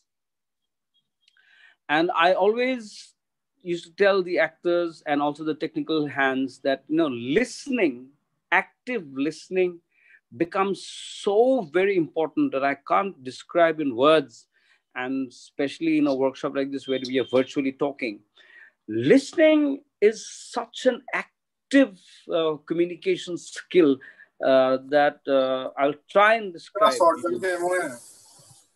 Hello?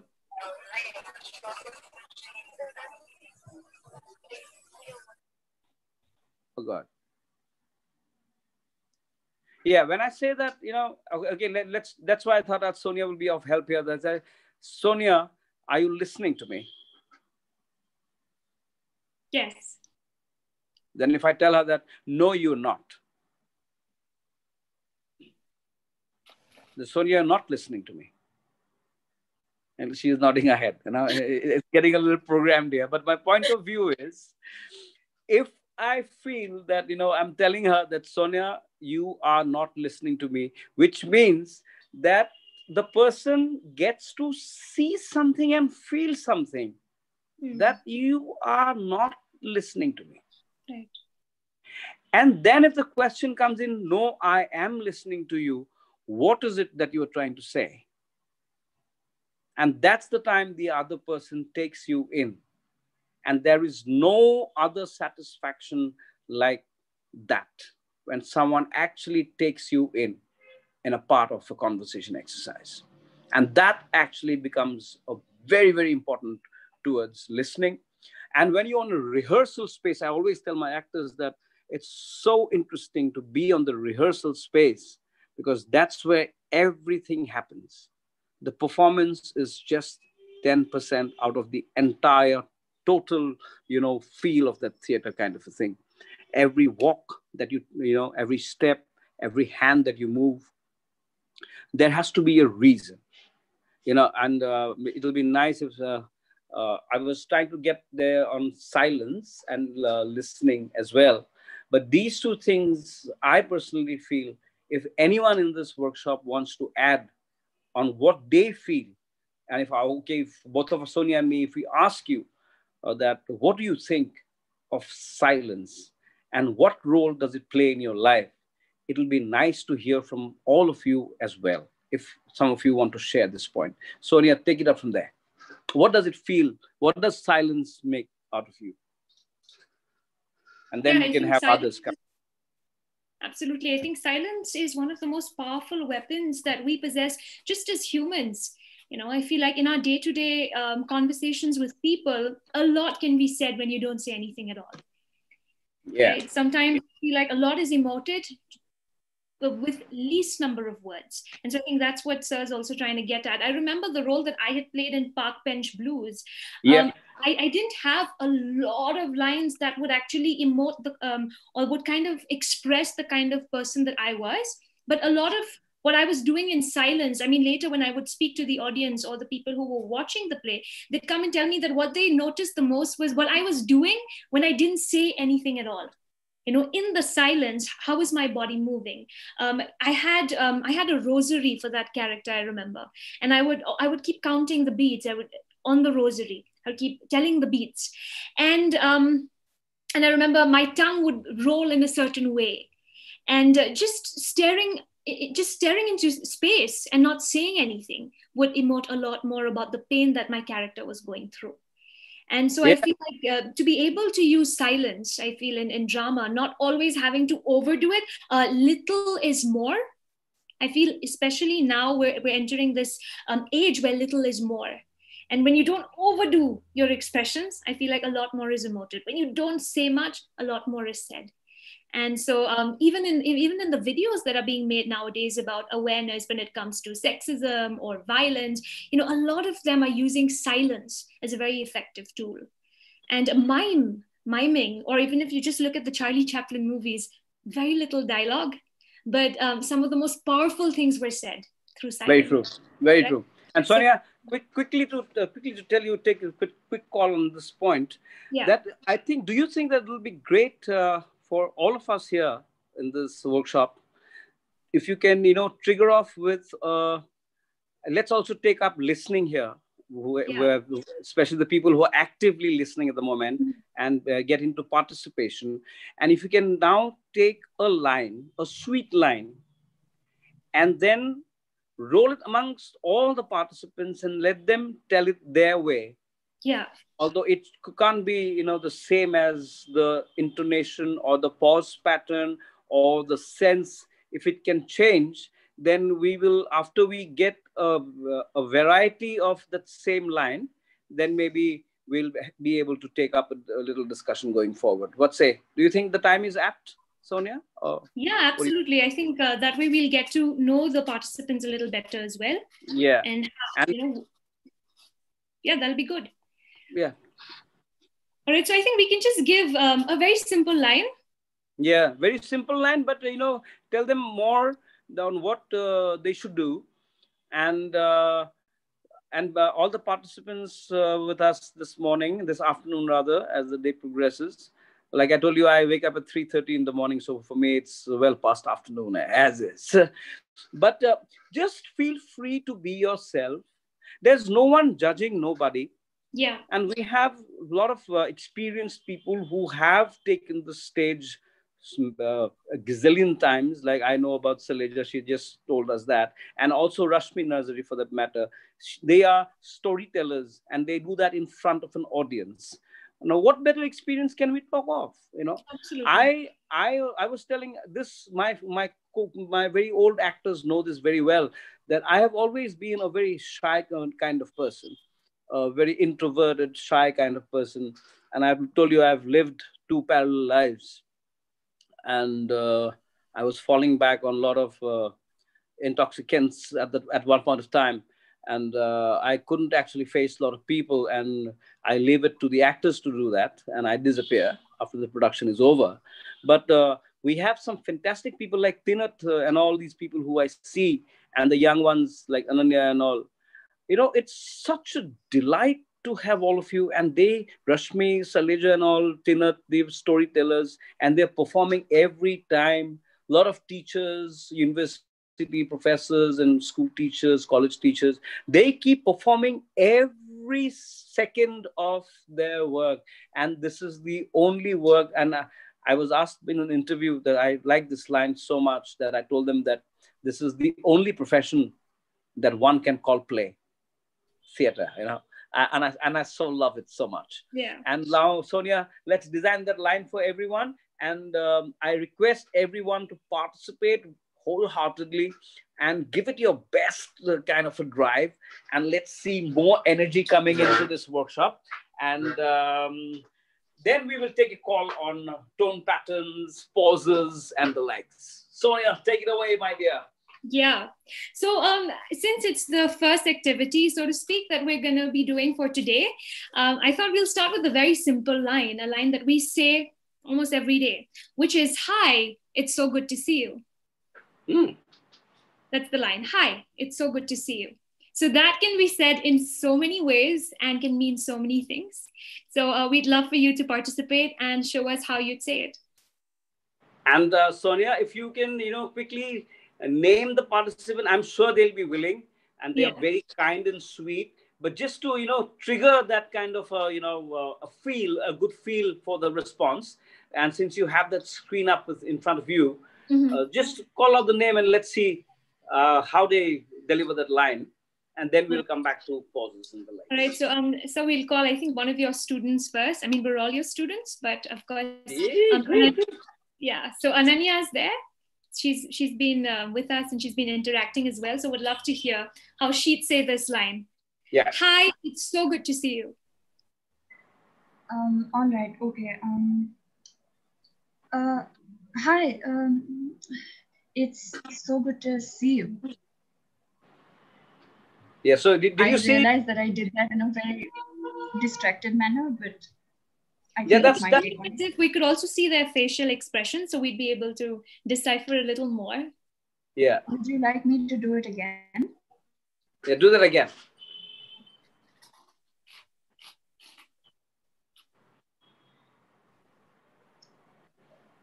Hi. It's so good to see you. Yeah, thank you, Ananya. And uh, Sonia, Ananya, and the others, please take a note, all the participants, of the way Ananya just placed that uh, one-liner. And if you if you ask me as an observer of this exercise, I request everyone to feel the backstory of that line which Ananya said. You know, the backstory. If you can unbox it, I would to just you know start off this exercise. I would say that uh, Ananya met someone who she was not expecting to meet, maybe very close at one point of time, but there was some rift that took place. And then they suddenly meet and they are both at a loss of words. But although for courtesy's sake, and maybe there are other people around them, so that's what Ananya came up and said. Hi. Ananya, can you do that again the same way you did it? I'll, I'm try some. Yeah, try. Hi. It's so good to see you. Now, is my is, is the discussion falling into place or not? Yeah, absolutely. Yeah. So that is that is how you do the rehearsal, and you don't tell the actor from the directorial point of view. You are not supposed to tell the director that I want the piece to be like this. You give them the backstory. That's what I've been trying, and this is one small tip that I learned from my father. That I'm not supposed to show acting, my dear. We've taken you because we think that you can deliver that craft of act. That's why you're taken. And so this kind of a thing has its own backstory. Like Ananya started off, now we'll go to the next person, and everyone will have a backstory to relate. And that makes the theater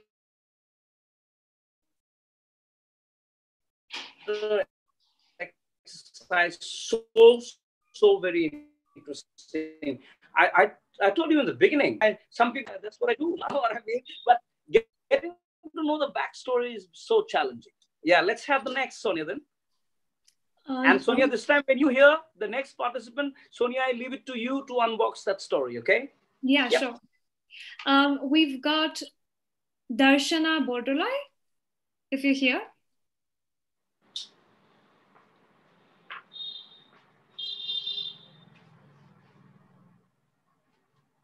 Okay, I think we'll move on to the next one. Pratiksha Rajput.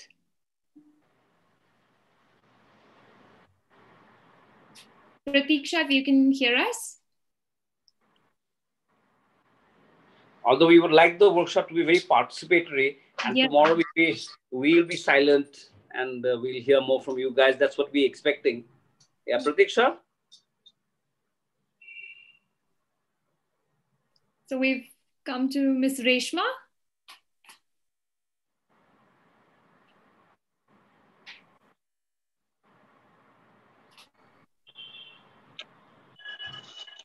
Hi, it's so good to see you. Hmm. That's I. I, I see your face. Can you can you do it again, ma'am, if you don't mind? Okay, okay. Yeah. Hi, it's so good to see you. That actually sounds like she's genuinely happy to see the person as well. Yeah, like, I also think. To a friend. Yeah. Yeah, and for the others that who's willing to try, try and give it a different feel. Now let's uh, let me request Shailaja. Yeah, why not? Awesome. Great. Oh, you, are you unmute yourself, ma'am?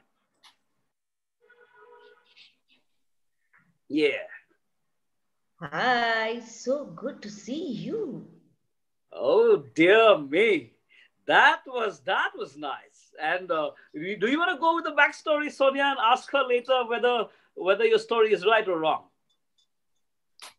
Uh, can, can you do it once again? I, I just want to make sure I, I deciphered it right. Let me try again. Uh-huh. Hi, so good to see you. All right. Uh, that's that could mean a lot of things. I've heard people say hi that way and mean a lot of things. So can you hear me? Yeah, very much. I'm trying Hello. to position myself. You see that ceiling fan behind me?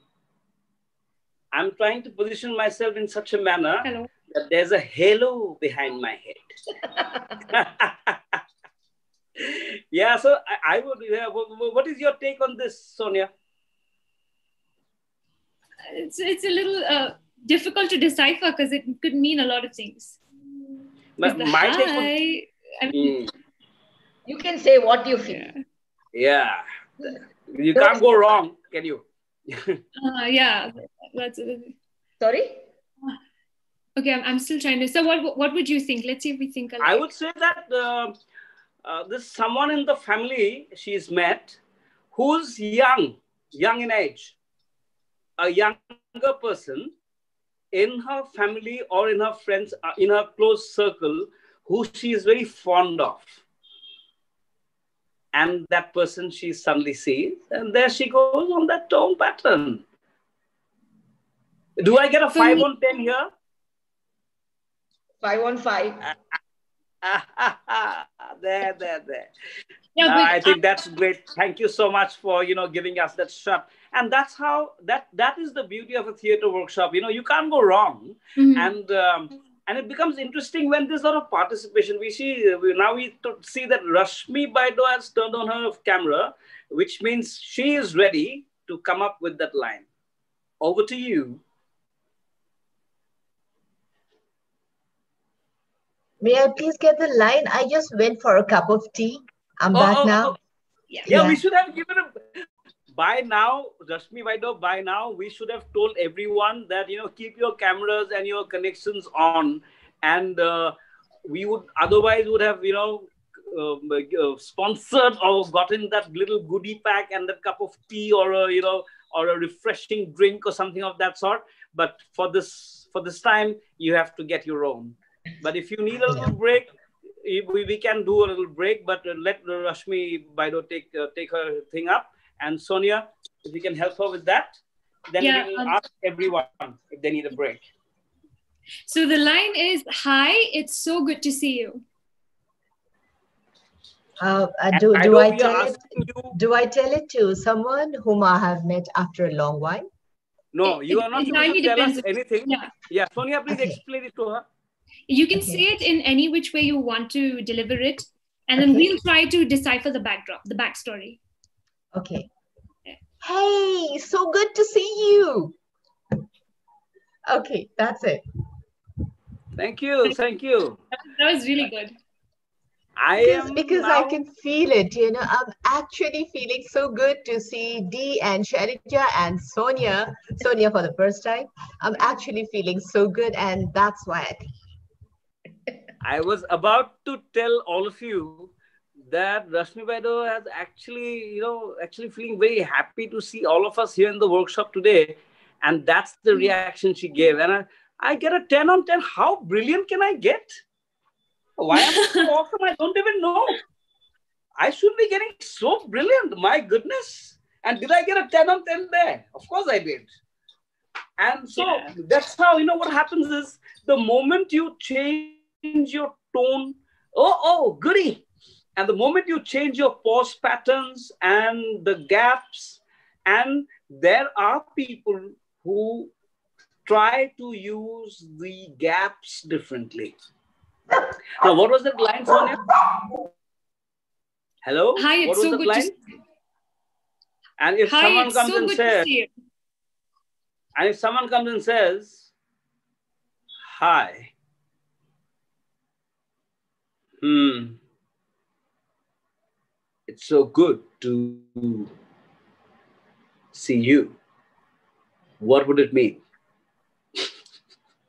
Obviously, it's not a very good a good feel to you know see, isn't it? And it's, Yeah. and it's said so clearly. The negativity is so clear, and uh, I can't explain myself how I uh, how I uh, shared that word good. Well, it means totally the starkly opposite. But I've said it in such a manner, so this is how you can you know keep changing intonations, and you can take the uh, wrong kind of pauses, which you which people normally expect that kind of a pause, and you are not giving that pause. There's a different kind of a beauty which I let a lot of my actors, uh, you know, uh, take the call on trying to get these uh, pauses in different patterns so that it doesn't sound the usual for the for the audience. Sonia. Yeah, I absolutely agree, sir. The, the pause makes a lot of difference and it actually can change the entire meaning of the sentence. And I actually liked the way uh, Ms. Sh- Shailaja uh, said the sentence as well. The hello, you know, that actually reminded me of a lot of the aunties that I meet in the, the gatherings and they have found out a secret about me. So they're like, hello, it's good to see you, you know, like, mujhe pata chala hai what you did. So I, I, I feel like that can also be interpreted that way, the hello. I've, I've heard that a lot actually out of personal experience. I mean, that could be one interpretation as well. Also So- shows so- how mischievous you have been. Guilty. Guilty. yeah. So would you like If to there add? are- Sonia, if if there's someone else who's trying to give that Yeah. line, otherwise I'm going to request Tina to come and give that line for us Absolutely. in her way, and Mhm. we'll try and see what happens. If she's still there. Can you I think Tina's please? still there with us? Can I please? Of course, of course, of course. Yeah. Of course, So, please um, go ahead. Yeah, about about this pause you all were talking about when it comes to theatre. and drama. I think this precisely same thing, uh, Reshma, you will remember I had this uh, story writing workshop for uh, Writers Forum.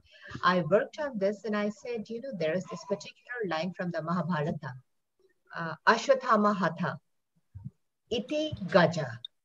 So that particular pause gave the entire Mahabharata a totally new meaning. Yeah. So I think I think this is where it uh, relates: story writing, storytelling, and your theater. I think this is where I connect as a story writer. Shailaja connects as a storyteller, and uh, Sonia and Dee connect as the theater people there, and Reshma as someone who absorbs everything. And of course, there are a whole lot of people out there, but uh, these are the few faces I see. I'm so happy that these are unmasked faces. So yeah. close together, so close yep. together. And in, and, in, and in this discussion, before we request Tina to give her the line her way, I would just like to add to what Sonia has been taking forward that the self expression bit in theater becomes so, so very important that it helps you express yourself and teaches you how to interpret others' emotions and making it easier to understand yourself and others in the process. And that's what I do, especially sitting on a chair. And it seems like you doing nothing, but this is what's happening silently, and this is what's happening in a very serious kind of manner because after a couple of hours i'm so tired i can't tell you in words but yes self-expression expressing yourself it teaches you how to interpret others emotions and it makes it easier to understand yourself along with the others and for the simple reason that theater is so full of raw emotions and of course emotions is what makes us all very human so now, Sonia, do you want to request Tina to give a bit? Yeah, absolutely. Yeah. Yeah. Let's see what dimension she brings in.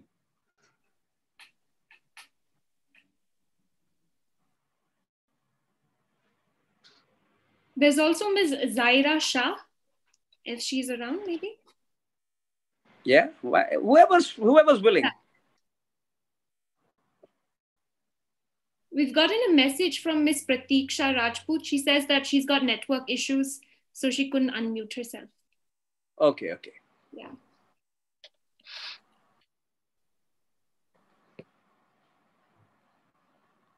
I think that's it.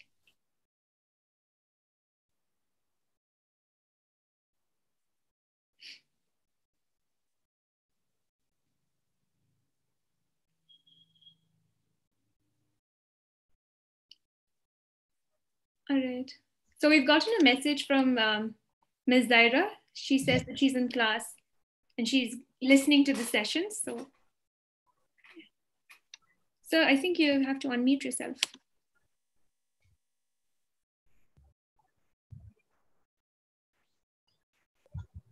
Yeah. Yep. Can you hear me now? Perfect. Yep. So, so that that brings us to uh, you know the kind of variety that one can experience with when it comes to delivery. And uh, a lot of people take a lot of time to work on uh, various delivery styles, styles of delivery, and make it very unique. So when you're sitting in an auditorium and watching a live performance, you are not only attracted to the person who is on stage, by the physical appearance, you're also getting the pull from the way the person delivers. Now that makes it very, very kind, very, very special. And I'm sure the storytellers with us this, this, this afternoon will agree that you bring in that kind of a dimension. And this takes a lot of hard work, a lot of dedication, research, and practice. So this is not a very easy art form, so to say. And like I was telling the organizers that, you know, it would be nice if we can have some people who actually love this craft and, uh, and they try to, you know, make something out of this entire exercise and make it very special. That would be nice. Yeah. Yeah. So, uh, so can you, can you now take it up from there again, Sonia? It's a safe place for everyone, like I said in the beginning. But do, do you want to add in some more glory to this uh, listening and self-expression experience? Yeah, I, I think um, theater is being used widely, not just as a form of art, but I've seen that even in um, organizations nowadays, they actually encourage the employees to participate in theater activities because mm-hmm. it helps you to discover yourself, like I said, self expression, and also helps you to yep. coordinate and cooperate with your team. So it has so many um, other benefits than just uh, helping you get on stage and perform a particular play, but I feel like it changes you um, inside out in so many ways. Um, so, so of course, we had spoken about a break. So, will we be taking the break now before we, uh, or? Um...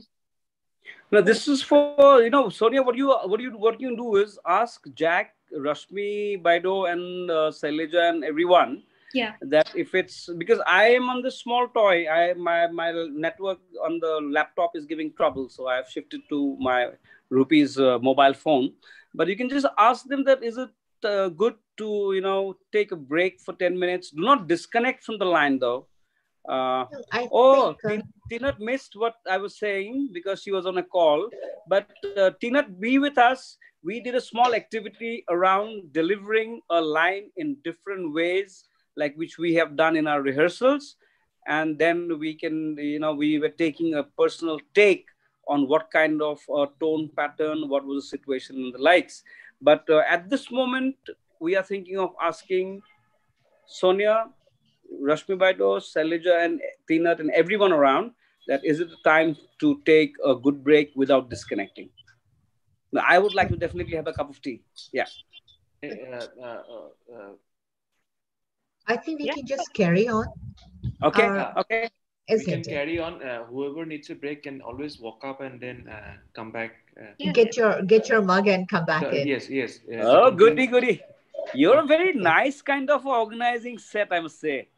On that note, let me quickly go and make myself a cup of tea. While uh, Sonia's still there, I can see her sipping from that cup of tea, something very fancy, which gives a lot of energy uh, because she has the same same kind of brightness from the way we started today at 8.50. Thank you so much again, once again. Thank you so much, everyone, for being a part of our happiness. And uh, let's carry on. Great. Yeah. And we are we, we we we would also like you to sing for us today. Huh? One song, half a song, two verses, or whatever, to give in a different dimension to the entire workshop. I'll just be back with my cup of tea.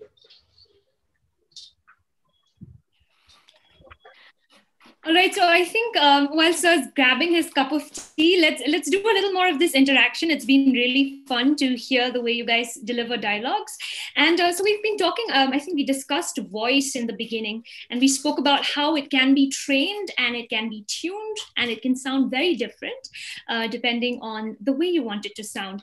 And you know, one thing about voice is because it's in the inside of you, it's very difficult for someone to actually tune it for you. So it's something that you'll have to work on yourself. And, um, you know, the way you adjust your vocal tracts and depending on the kind of voice that you want to create. Um, so I think we are going to try and talk a little about that. And I'll, I'll, share a little about my personal experience as well. So I remember um, I grew up in a missionary school where elocution, debating were very, very important um, for us, not just studies. And um, so whenever we had elocution, we'd be asked to speak in a very, very polite way. There were certain, you know, um, protocols that you would have to abide by. You have to bow, and uh, then you know the way you pronounce your what would be what and where. We're very British in the way we'd say things. Um, but then um, after that i moved on to a newsroom setup and i had I, I, was a news anchor for a news channel and it took me a long time to be able to adjust and modulate my voice. So the first day I went on to the newsroom, this is what I said. I said, um, we have a breaking news coming in. And I was yelled at um, by my producers because that's not how you say breaking news, you know, um, because of course that was the way I was taught and that's how I would modulate my voice. So it would be, we have a breaking news coming in, very polite, that there's been a bomb blast, there's been a terrorist attack. It almost be like I'm reciting a poem. And as and when I began to understand how you know news mainstream media works i'd have to change my voice accordingly. So eventually everything became about shouting and being sensational. And that's how you change your voice. And it becomes we have a breaking news coming in. There's been a bomb blast in ganeshguri you need to like emphasize more. So from we have a breaking news coming in to we have a breaking news coming in it was a big change. So that way you can change your voice. I, another small example, I talk about how you can change your voice. Like um, I, i am not a trained singer, so I don't know why someone's asking me to sing. So, but I'm, I'm, I don't mind embarrassing myself in front of all of you. Theater enthusiast, so it's absolutely okay. Um, but then, yeah, how we can change our voice again. So, um, what I've learned is depending on the kind of songs we sing, your voice can also change. Like if I'm singing a very Indian song, for example, I'd make my voice a little more sweet. Just giving an example, for example, it could be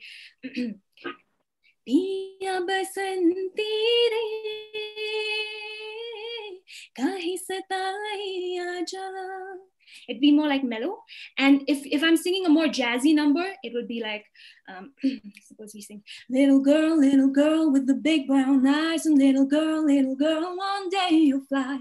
So the voice changes. So I'm, I'm laying more, I'm making my voice a little more baritone when I'm trying to sing the more jazzy song and when I'm singing a more Indian classical sweet song. So I can make my voice a little more on the higher scale, higher pitch, and make it sound a little sweet. So I think we can try and do that as well. So if it's all right, since we have, no, I mean, not ask you to sing, um, but uh, maybe you can try and um, see how you can experiment with your voice. Yeah. Right? It would be nice to say, I'm sorry would be more bass. I'm sorry. Or I'm sorry. You, you see, like it could be I'm sorry, more mellow, or it could be I'm sorry, a little more annoying. So and a little, you know, it hits your ear a little more. So if you can try, um, we'll give you a simple dialogue like I hate you. Can you say that in two different ways? Just the people who have their screens on. I hate you. Yeah. Let's try that. Who'd like to go first? Me. So please, honor. I hate you. I hate you. Yeah? And I actually hate you for that matter. Leave it to Dikamsa to take it to a whole new level. Yeah, so um, who would like to go after that? I'm glad I went before you. I would like to go after that? Come on, let's try. Okay, can I go, Sonia? Oh yeah. okay. You would like to see you as well. How your eyes are behaving, Tinat? oh, okay. I, I, I actually while while you were, I was doing your workshop, I was also um, doing my dance classes at the same time. You know. Oh wow. So I'm all I'm all sweaty and all. Anyway, never mind. I'll I'll I think I'll look good now. Yeah, good. Yeah. so yeah, let me let me get into the mood because Dikom always wants us to get into oh. the mood. I hate you.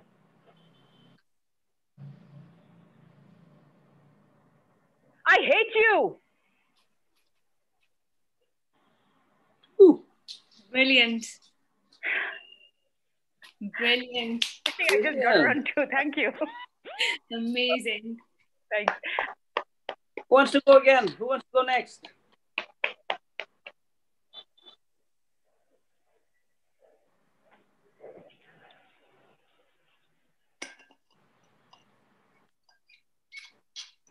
I hate you. I hate Whoopsie. you. I can feel the hate. Yeah. that was really good. Who's out. going next? Really good. Now,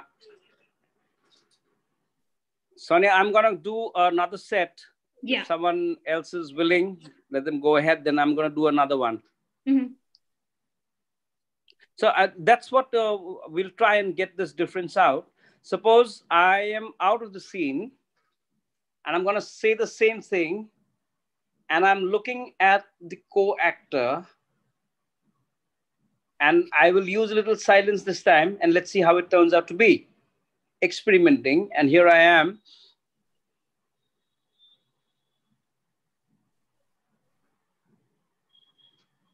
I hate you. How is that now? What does it say? I sarcasm. hate you. Sarcasm, absolutely. the sarcasm. Oh my God.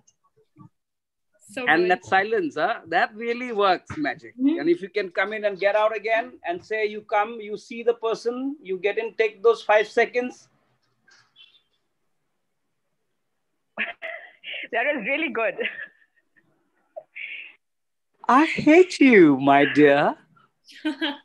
What kind of hating is Amazing. this now? so what kind of hating is that? I wonder.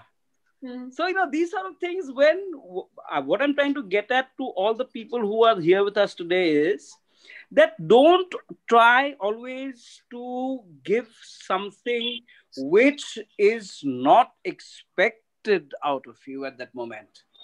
But don't use this trick every time, but for very special moments, which is very rich in that entire, say, performance. You've identified those two, three moments. Try and use this kind of a pattern where people least expected that and they get to see something on those lines that gives them an extra thrill and that's when they say wow and that's a wow element you know it's not there in any books but if you can try that at times it really works wonders.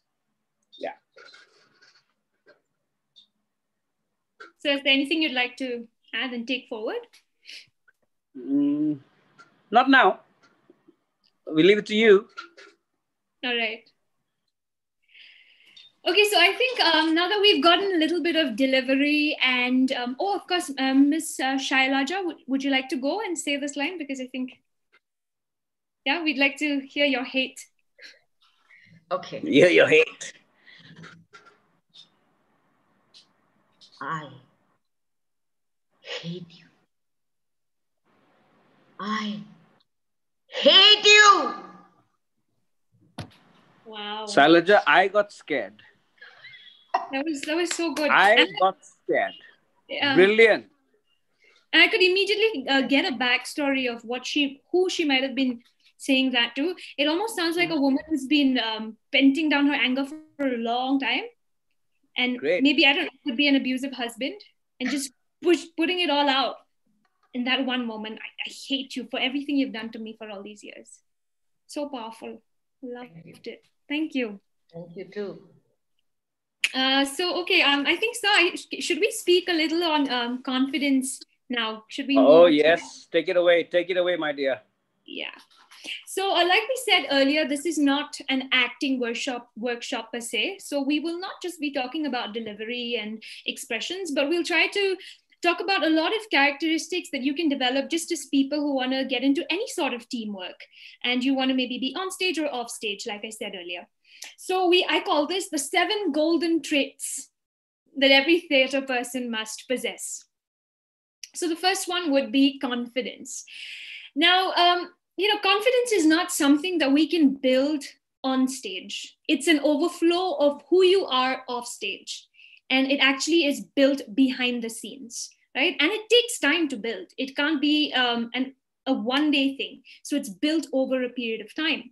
Now, for me, since we're talking about theater, um, you know, the minute we call ourselves creatives, I think Dekamsa would agree. The minute you put your art out there, so long as it's within the four walls of your room, it's all right for you to just be say you want to call yourself an introvert you, you say you don't have confidence but the minute your art is put out there there's bound to be criticism and of course appreciation and you need to handle both with confidence right so for me one of the most beautiful examples of confidence would be um, i'd seen i had read about this um, if you've heard i mean of course you've all heard of george bernard shaw who wrote arms and the man one of my favorites so um, when arms and the man was first staged there were a lot of people in the crowd who clapped and applauded him But there was one man who stood up and he was the loudest and he booed. He booed his heart out when he watched Arms and the Man. And you know what George Bernard Shaw did? He just said, I absolutely agree with you, my friend. I absolutely agree with you. But we have no chance against so many people. You know, and I love the way he handled the entire situation with so much grace and so much confidence. So I think the beauty about confidence is not just thinking that you can never be wrong, but rather to not be afraid to be wrong. I think that's what confidence is that even if I am wrong, that doesn't diminish my ability to fulfill the goal that I want to. So, I want to share this funny incident with you. I had participated in a science seminar when I was in school, and I didn't know head or tail about science. I'm not a very i don't have a scientific mind and more of more into humanities always been the more creative person so i go up for this science seminar and because i would always participate participate in plays by hearting scripts was very easy for me so I by hearted the entire thing, my entire project. I just mugged it up. I didn't understand head or tail of what I was saying, but I knew how to sound really smart. And perhaps the judges thought I was a science nerd. And so I went on, you know, with my chart and I was like, so this is how we go about it. And that's our solar system. And I just pretended to be a science geek. And after that, I didn't know I was caught off guard that we had something called a question and answer session where they would ask us questions. And I was absolutely ill prepared. So I go up there and I finish my little script that I had parroted. And then the judge asks me, it's like, um, so tell us, what do you know about the black hole? That's what the judge says. Is what do you know about the black hole? And why is it called black hole? I had no idea. All right. And I'm, to be very honest, till date, I'm not very clear about it. Okay. No shame in saying that. Gotta learn. But uh, yeah, so that was the question that was thrown at me. Why do you think the black hole is called the black hole? And that was really off my syllabus, or it was not something that I had mugged up so i i was i just didn't know what to say so i was like i just said something very philosophical I was like, because it's, you know, it's filled with a lot of negativity. Yeah, that's what I went on to say, that it's filled with negativity. And, you know, a lot of um, dark thoughts are filled in that zone. And that's why it's called the black hole. Yeah, because of the negativity. Very confidently. And I was like, thank you, sir, as though I aced it. I was a little Einstein in my. And to my surprise, I came second in the science seminar, even after giving a completely wrong answer. Right. And then later the judge comes and tells me, I, I know your answer was wrong, but your confidence was what mattered to us. So, not being afraid to be wrong. And I feel like that is one of the most powerful things we can possess as theater artists because a lot can go wrong when we're on stage right? And um, so to not be afraid and how to make the most of the mess that might be created on a live setup or even in life. I feel like that's something that theater teaches you to not be afraid to mess up. So, um, yeah, that's what I've learned from George Bernard Shaw to not be afraid. Now, one thing, however, that I've noticed is that whenever we say I'm confident, um, I've, I've seen this in um, the few groups that I lead at church or whether it be at my workplace before or in my university. I've seen that whenever we say we're confident, there's also a little weed that grows along with confidence, and that become that is arrogance, where we feel like we're always right. And so please don't try and correct me. And so that becomes the biggest poison for any creative person. I feel like you're pruned so long as you're growing, right? And if you're not being pruned, if, if you're not pruning your plants, it's because that plant is dead. So, so long as someone's correcting you, it's because there is possibility and potential for growth. So, even for the younger ones who are here now, like um, Ananya and the others, I feel like it's so important is being humble and teachable whenever we're working in a theater group because there will be your director who will correct you. There will be even sometimes your co-actors who might see you doing a, a scene in, a, in the wrong manner. And so you have to be humble enough to take it, absorb it like a sponge, and the final product is just amazing. Now, um, again, talking about confidence, there's something very interesting I read called pseudocyesis. This is a medical it's a disease actually and um, so it's called pseudocyesis now what happens here is uh, whenever a woman keeps saying that she's pregnant, right? Uh, what happens is your abdomen begins to grow. It's actually proven. So you've got Dr. Friend's pseudocyesis. So that's what happens. Your abdomen begins to grow. There's really no explanation for it. But the fact that you keep saying it over and over yourself, your body begins to respond to it. So similarly, when we're talking about confidence, if I'm constantly saying, you know what, I'm not good enough, I, am not, I'm, an, I'm not a confident person, your body will respond to that. And so you've noticed people who think they're not confident usually have a very soft voice, and even their body language exhibits the lack of confidence. And that ultimately will affect the way you perform on stage if that's where you want to go. Or even if you want to become a playwright or a director, you're leading a team. So you need to be a confident personality. So I feel like it is very important for us to speak the right things over ourselves. That's an exercise that I was taught when I did a theater workshop to start speaking good things over yourself that I can, I will. It's, not too big for me right so um one so we started this uh, theater workshop by talking about things that we don't like in general but I've seen that it's very difficult for us to talk about things that we like about ourselves. We feel like it's very humbling to say that I don't like anything about myself. No, that's that's that's fake humility. You should love yourself. Then you can love the person around you, right? So uh, we're going to try this little activity now. If you can quickly tell us five things that you like about yourself, and we're going to keep doing this till the workshop ends tomorrow five things that you like and honor about yourself. It could be your smile, it could be some internal trait maybe that you possess, but five things that you like about yourself. Let's try this. Do you want me to start?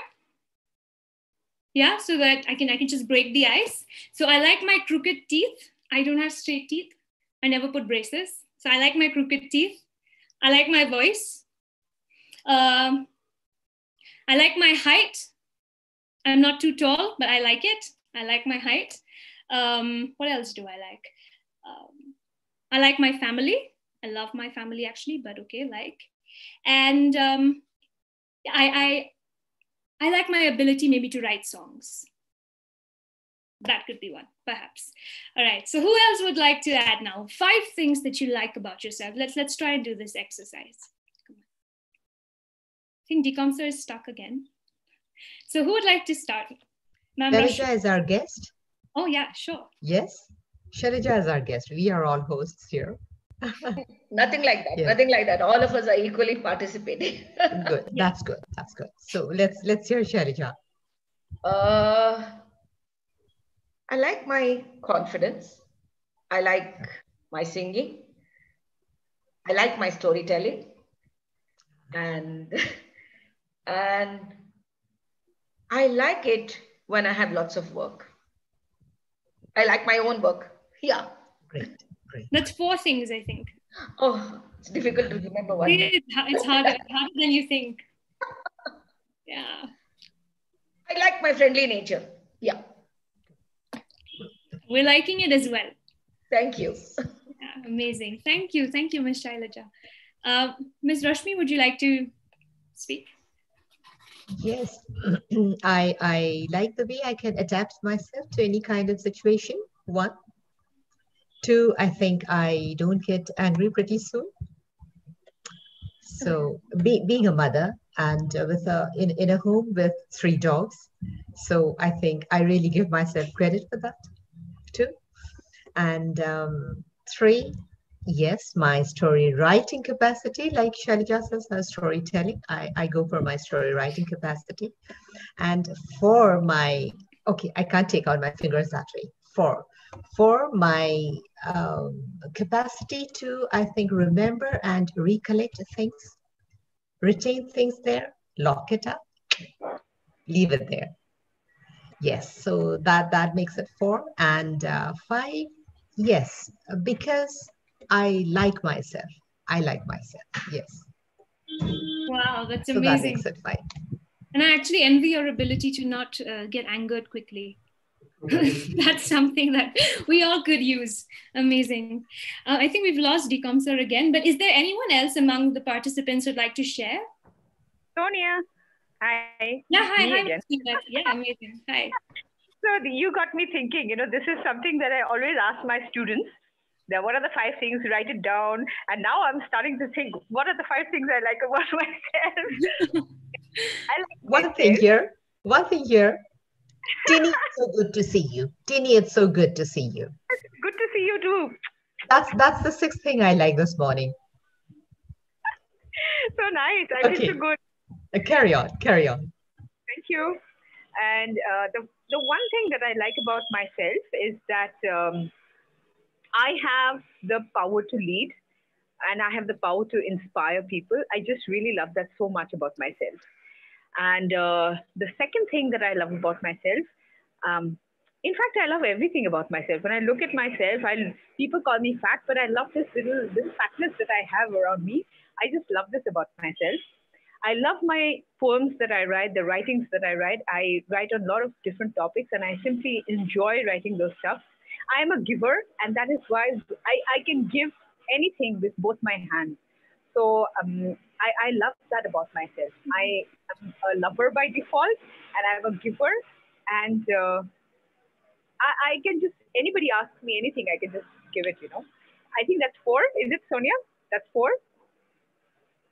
And yes. uh, I think, and I think the best thing about me is that I am not a person who is religious minded. For me, religion is humanity, and I think uh, that is what I love about myself.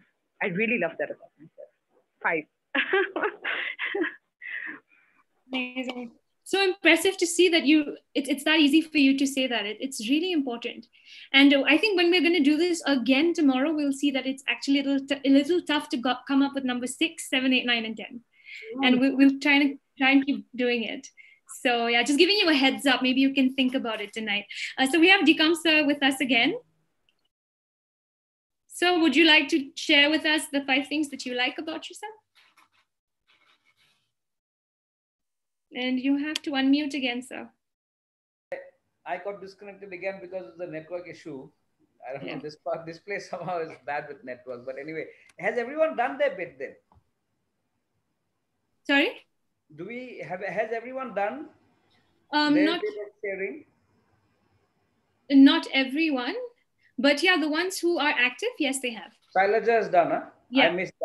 I missed Rashmi's. I got midway.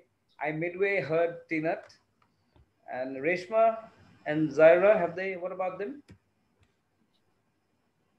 Uh, no, Miss Reshma has not as yet. She's yeah. Ah, joined us. Back. You have to unmute yourself, I think.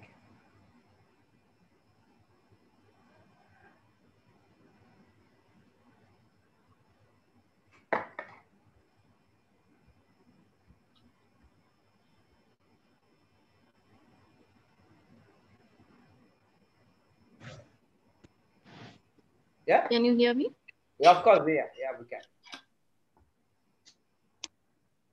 Can you hear me now? Yes, we can. No, we can't.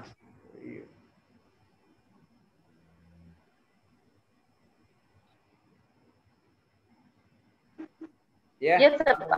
Okay. Okay. So, yes, the first thing is I like my family. I like writing. In fact, I love writing. I like my ability to uh, get along with people. I like my ability to uh, have empathy for people.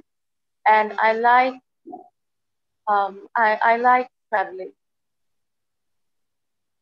Is that how four or five, Sonia?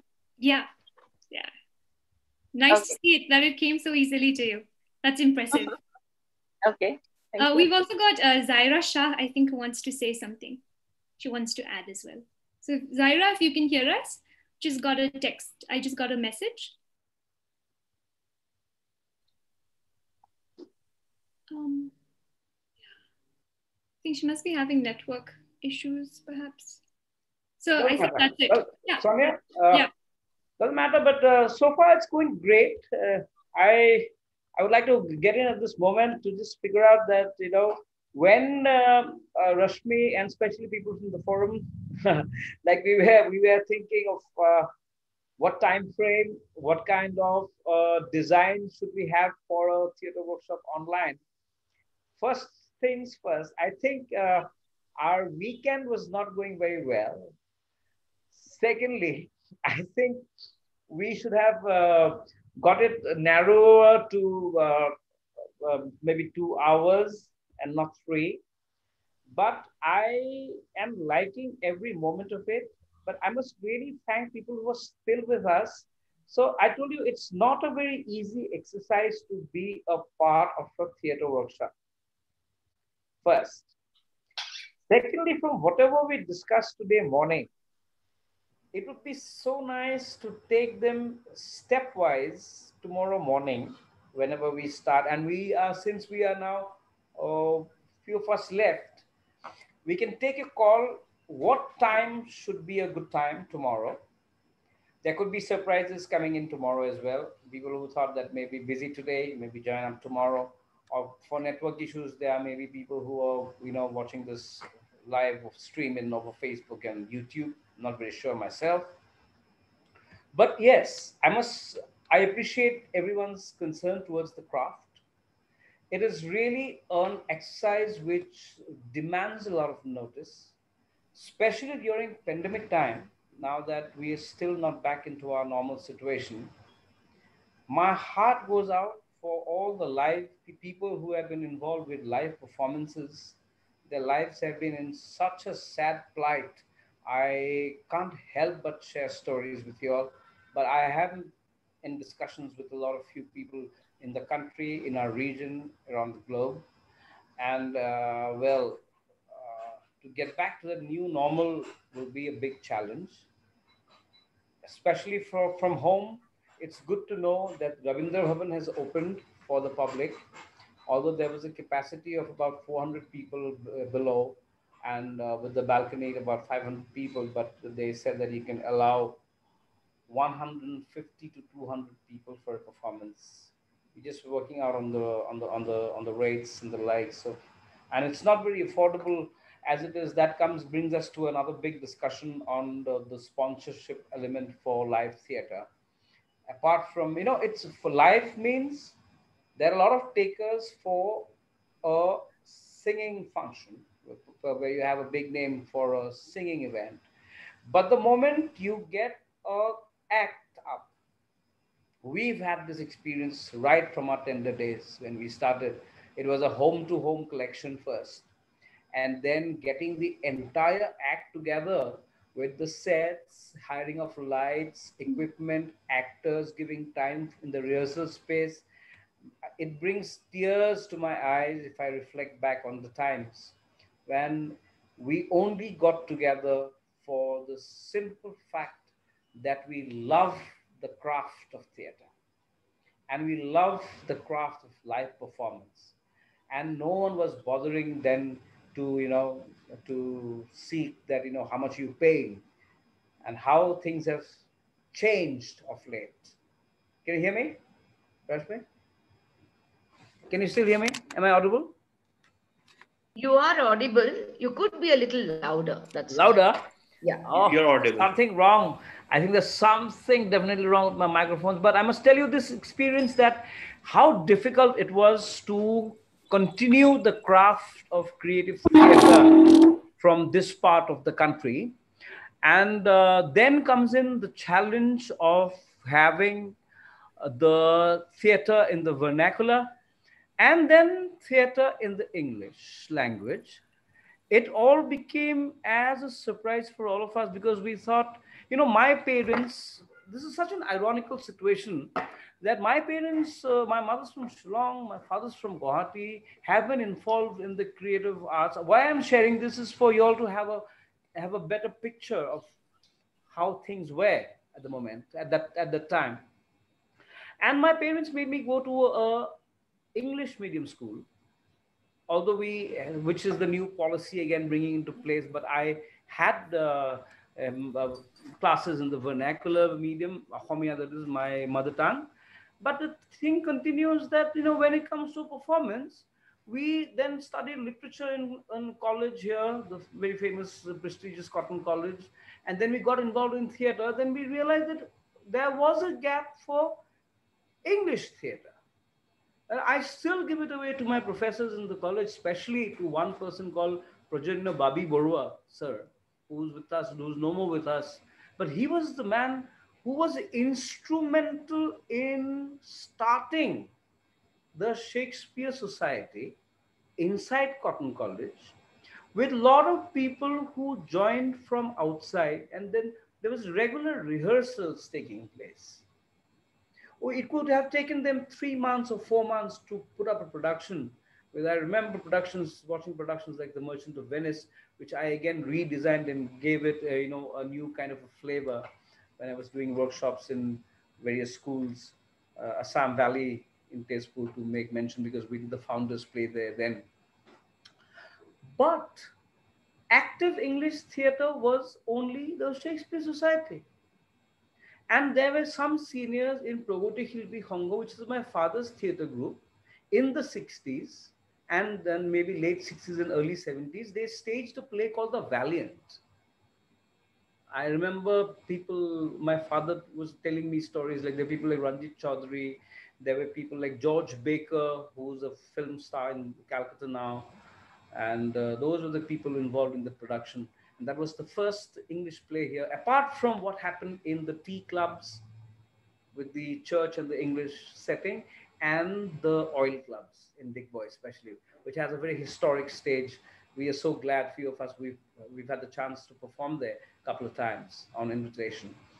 Uh, thanks to thanks to Seagram's then and their magical nights. We were part of the traveling circuit of Seagram's Blenders Pride Magical Nights to, to promote theater in these places. But we realized that as the city was growing in the urban milieu, and we were, our parents thinking that we want our kids to become good citizens, knowledgeable citizens, were sent to an English medium school and then mostly did their education in English and then did literature per se. I speak for myself here. I never neglected my vernacular, but I saw that we were thinking in English slowly. You know, then we couldn't connect to regional humor. And uh, there were people who, you know, could connect to English humor differently. I'm talking about Guwahati per se, Assam. And there was such a struggle that, you know, when you're doing Dario Fo's Virtuous Burglar, where Tinut was there as a lead female role, it was so difficult to get that humor up. We could hear the laughter coming in at certain pockets, you know, if we could hear that from the wings. Although personally, since you learning theater as a part of the academic uh, uh, per se, then you could enjoy it more. But then from the audience perspective, it was not that. Then the magic came in, and I must take name the mention of this name here. The very dynamic, the stalwart in getting English theater a different feel in India, the man called Mahesh Dattani. I remember requesting him over a mail, and then we got onto a call, and then we requested him to come over to Guwahati to witness one of our productions. He was a he was a guest here. Then he went to Shillong. He had a lot of lovely stories to share about the Northeast. That was his first visit. We have had a couple of uh, seminars in Gauhati University, Cotton College, and the likes. But why I'm bringing this point is, with Dattani's plays as an Indian writing in English, first thing that has a big connect for me, uh, dabbling in the craft of theater, was the connect with the audience people could immediately connect. And the pleasure amongst the entire crew enhanced because here we're only doing it for the public. And there, there has been the connect increased. We were doing Bernard Shaw, Shakespeare, and the likes. And then that made us change and change the milieu into something. We get them into local attire. Those sort of things came in. We matured a bit although i don't claim that i'm i'm a very mature kind of a person. I'm still not I, i'm still a bonsai at 16 and 21 actually. Haven't grown since. And uh, i have my childish ways. I have my wicked ways. I my actors used to fear that entire, you know, saying that here comes the man now, he's gonna give it to us, and he doesn't speak much and those sort of things. And disappears after the performance. God knows where he's gone. We can't even ask him anything. We have to wait till tomorrow. So those kind of experiences really, you know, got us growing. And I still can't uh, wait but make mention of names like uh, Dabu Chaudhary, who was who single-handedly also managed the stagecraft in 30 days uh, in uh, in one of uh, my favorite productions, my first production as a director. Uh, God knows why I had to pick that up. Uh, Tennessee Williams is a streetcar named Desire. Oh my dear, what days in the rehearsal space. Dabuda was instrumental as a part of our team. Got the erected the entire stage in his balcony, and then got it up. We mounted it up specially and there was a connect that was increasing. And there were people like babita sharma who was a part of that act the present secretary of the forum dipanjal deka janti we used to call him mr pig. He is such a huge man. So he was one of the he was one of the actors in the poker scene. And then i can't help but take men, men mention of names like montgomery Bordoloi and babita played blanche blanche dubois. And uh, subhash goswami my very dear friend, senior in the college, Shakespeare Society days, who's presently in London, uh, his wife, uh, considering those are theater marriages and the likes, you know. Uh, so all these people got involved only for the love of the craft. And that was one production I still can't, remember, you know, I can't help but, you know, keep it deep within as a very warm embrace towards the craft and then we sailed on with Dario Fo's Virtuous Burglar, where George Baker's son, David Baker, who's another very fantastic actor, playing the lead against Teenath in that play. And someday it will be so nice to get them all back on the stage to, you know, come back to productions. We did Where Days Will again. And then we dabbled with Miro Gavran's uh, uh, Croatian playwright, who has a Gavran Fest. And I think one of the live, he's still alive and he has a fest going in his name. Gavran Fest, and we try to make it one day very soon there. Did Our Women.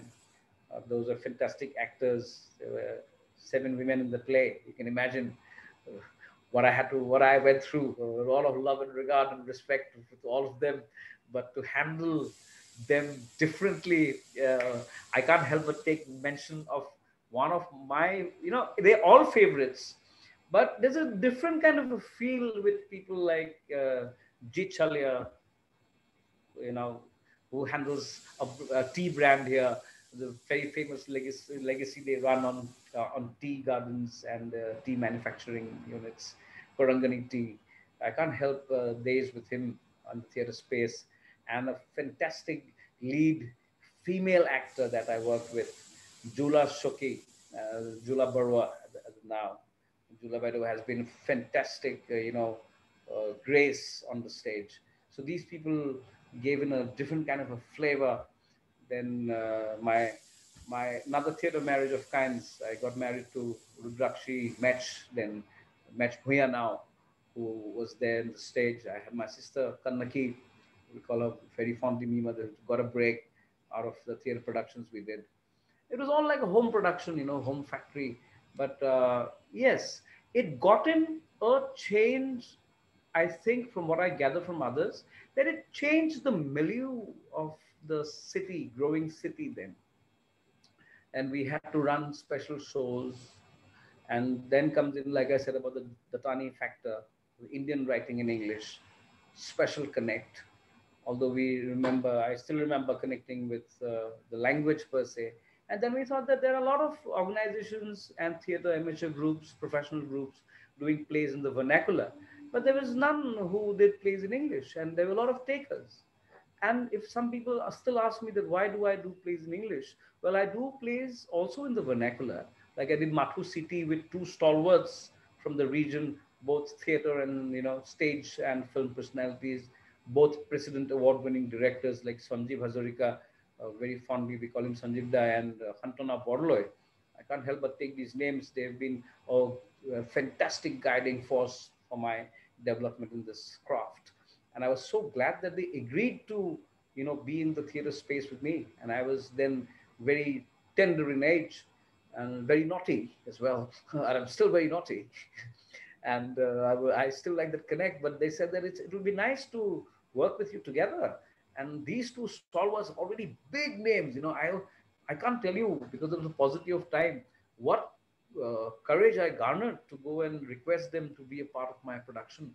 And that's when we did Albert Ramsdell Gurney's uh, Love Letters, adapted it, uh, and then again translated the whole thing into Assamese, which very, very fondly and in a very nice manner was done by Sanjeev Hazarika. And he played the lead against Shantanu Bordoloi. Uh, what, what a production that was. And then the last one, which took a lot of hard work and a lot of thinking, eight years of thinking before the film came up, was what Sonia was telling you all about, about who is Manto. I got a couple of stories up, the Mala, then there were people like Ranjiv Lal who was there with me in my previous product productions. These are people who actually made a difference and made me what I am today. You know, I give it all to my fantastic crew, my cast. And then comes this very young, dynamic Sonia, who played two different roles. I, I must tell you this. Uh, this is what is the brilliance of an actor in a theater space when they come in and say that, can we do this like this? And that's what you look forward to. And that's very special, Sonia. I shouldn't be telling it on her face, but you know, that's when the, she came in many times to say that let me try this part this way. Well, why not? And she opened up, she came in for Park Bench Blues and she opened up who is Manto.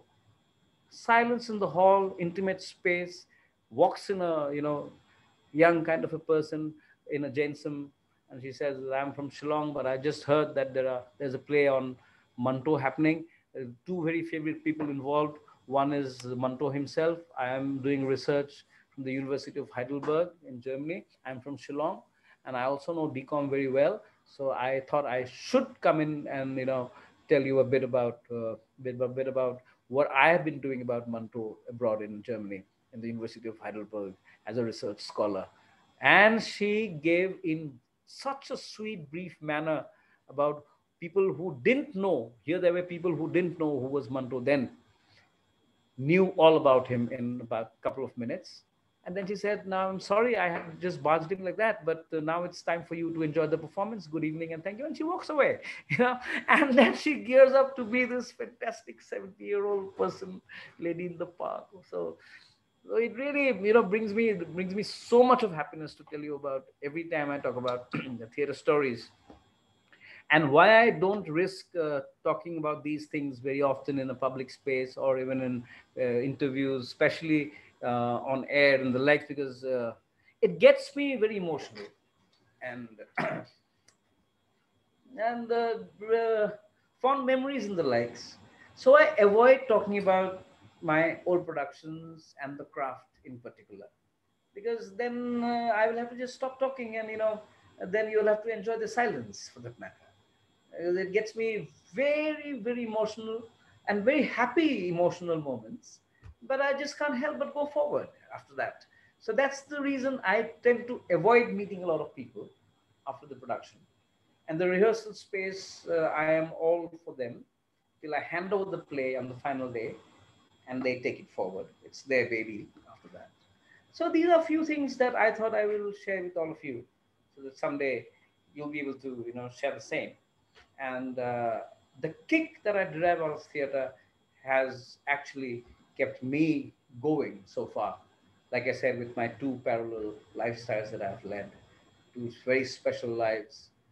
And uh, for 30 years, well, I have undergone a period of sobriety.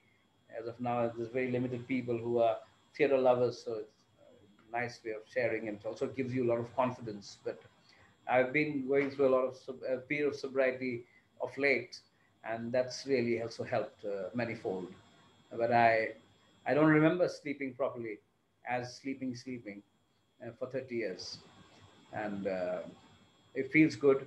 And I was uh, also very, you know, very difficult to share these kind of things, but I've also tried to give away. And thanks to the pandemic, I don't know, a lot of damage has been done. A lot of conscious efforts have been come during the pandemic, but uh, personally, if you ask me, uh, this was a period where I thought it's high time that I get a little sober. And uh, more than the alcohol bit, it was actually the smoking that uh, I'm very happy myself that I have been, you know, staying away. And I, I'm, I'm not, I don't promise anything because I don't know what will happen. Because, uh, like they say in AA, that uh, it's a very different kind of a disease. But uh, I'm so glad that I'm alive and I'm talking to you all at the moment. I'm looking forward to have more kind of theater productions and uh, in a very intimate manner, and it actually gets you going. Uh, so thanks to this pandemic situation, and uh, I'm loving every bit. I only now like to reflect again when things get better, and uh, where people get more healthier and things get better, and we get back to a live performance per se. I look, I still wait very eagerly for those moments. And uh, before we bring Sonia in towards the last part, and also Jack, who's there from the Writers Forum, uh, I actually would like to ask all of you that there's a few special people who are here, that what we should do tomorrow. We had plans of taking up uh, the entire exercise in groups and the likes. That was what me and Sonia had discussed. But we would like to take your tips and uh, you all can you please feel free to uh, like Shailaja can be more free with Rashmi and you know over the day you all can take a call. And if you think that it's nice to go on tomorrow with whatever we had planned for all of you and if there are people who want to join us tomorrow that we will know of course tomorrow like it's a live act. And uh, maybe we we were thinking of giving all the participants a sort of a workshop certificate a digital certificate of the emails that can be discussed. And uh, like I said, uh, it was very nice to have all of you here.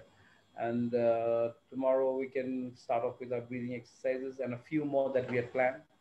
I personally uh, wanted to show you two small videos, but I think I'm going to show you one today. And then I'm going to leave the floor for Sonia to wind up. But uh, yes, please take a call about the activities tomorrow. And should we reduce it to two hours? Because we were not very sure how it would go. Uh, she won't be able to join tomorrow, Rashmi, that I could see that there. And uh, is the key host there. Oh, wow. That's nice. So we should take a call then uh, from the forum side, what, what, uh, how we should go ahead with it but uh, we'll we'll see uh, the list of participants in the morning, and then we'll Sonia, you and I will take a call, and if we can want to make it into a tighter event, we'll make it tighter. And uh, Tinat, if uh, Tinat's there, then we will also ask her that if there will be takers tomorrow to be a part of the session, since it's virtual.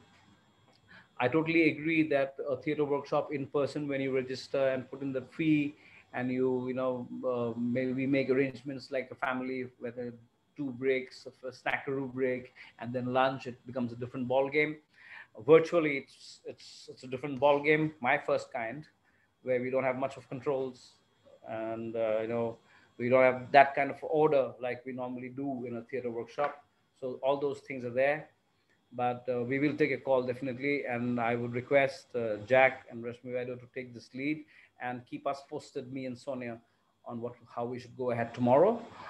And uh, we definitely will take a call once we get to see the participants in the morning. But uh, and before we leave the floor for Sonia to wind up, these are the things that we will take up tomorrow. Like I said, it's a very very difficult exercise. Theater workshop is not like other workshops. Uh, it actually is a lot of rigorous action and uh, dedication and a lot of involvement from deep within like all of you have shared today. Thank you so very much for being a part of our happiness.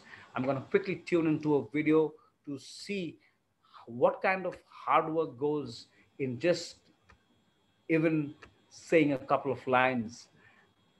Paterson Joseph, who played Shylock and is part of the Guardian set, this is what I also show a lot of my young uh, theater lovers and uh, they they get a lot of inspiration from these kind of actors. Uh, this is a clip which is of one minute 43 seconds, but you will see how he treats Shylock and in a very simple manner with, uh, with his just uh, the basic uh, appearance level, the passport size. That's what he does with his twitches, his eyes, and his style of delivery. For all of us who are still with us, I'm going to share my screen. Uh, Sonia, do you think I can share my screen? Uh, yes, sir. You should yeah. be able to. Yeah. Yes, I'm going to quickly okay. take you to Paterson Joseph, and a fantastic actor, and uh, I'm sure all of you will love that to wind up this day. And over then I'll give it over to Jack and Sonia to wind up today. There you go. Senor Antonio, many a time and oft in the Rialto you have rated me about my monies and my usances. Still have I borne it with a patient shrug, for sufferance is the badge of all our tribe. You call me misbeliever, cutthroat dog, spent upon my Jewish gabardine, and all for use of that which is mine own. Well, then it now appears you need my help. Go to then, you come to me and you say, Shylock, we would have money. say so. You, that did void your room upon my beard, and foot me as you spurn a stranger cur your threshold. Money's is your suit. What should I say to you?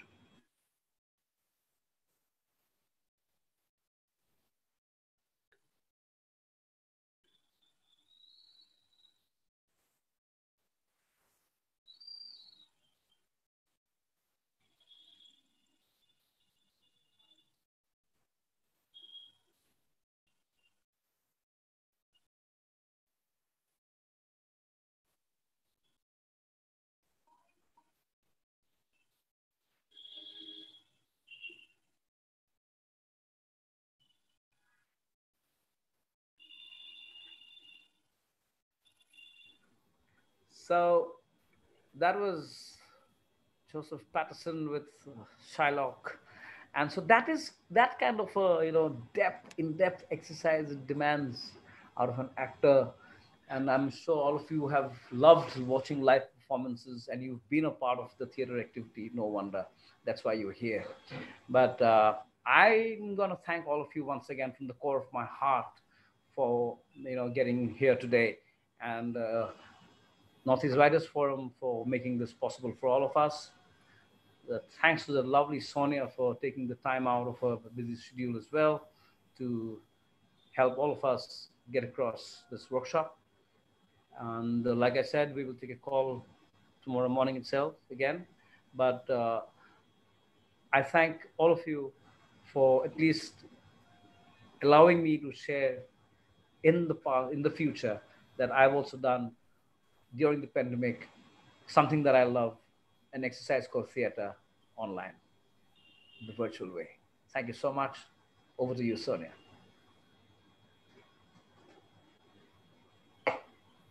Yeah, please go ahead, Miss Shailaja. I think. Yeah, thank you all so much. It was lovely meeting you and getting to know you a little, if not too much. But it was a wonderful experience. Unfortunately, I won't be able to join tomorrow, but still, I was tempted to join. So I messaged Rashmi asking her, Can I just join for a day? So she said, Okay, fine, you won't be able to get the certificate. It's okay. I just want to be there. You'll get it. You'll get it for sure. oh, my dear, look at me. Thank you. Anyone, uh, Rashmi, by the way, you want to say something? Then we'll ask Tina and then we'll put, go, put it back to Sonia. Then. I want to listen to y'all speaking. Yeah, I, I'm. Uh, I've. I haven't done so much of speaking in three thousand years that I'm alive. Today is the most that I've spoken in three thousand years plus that I'm alive.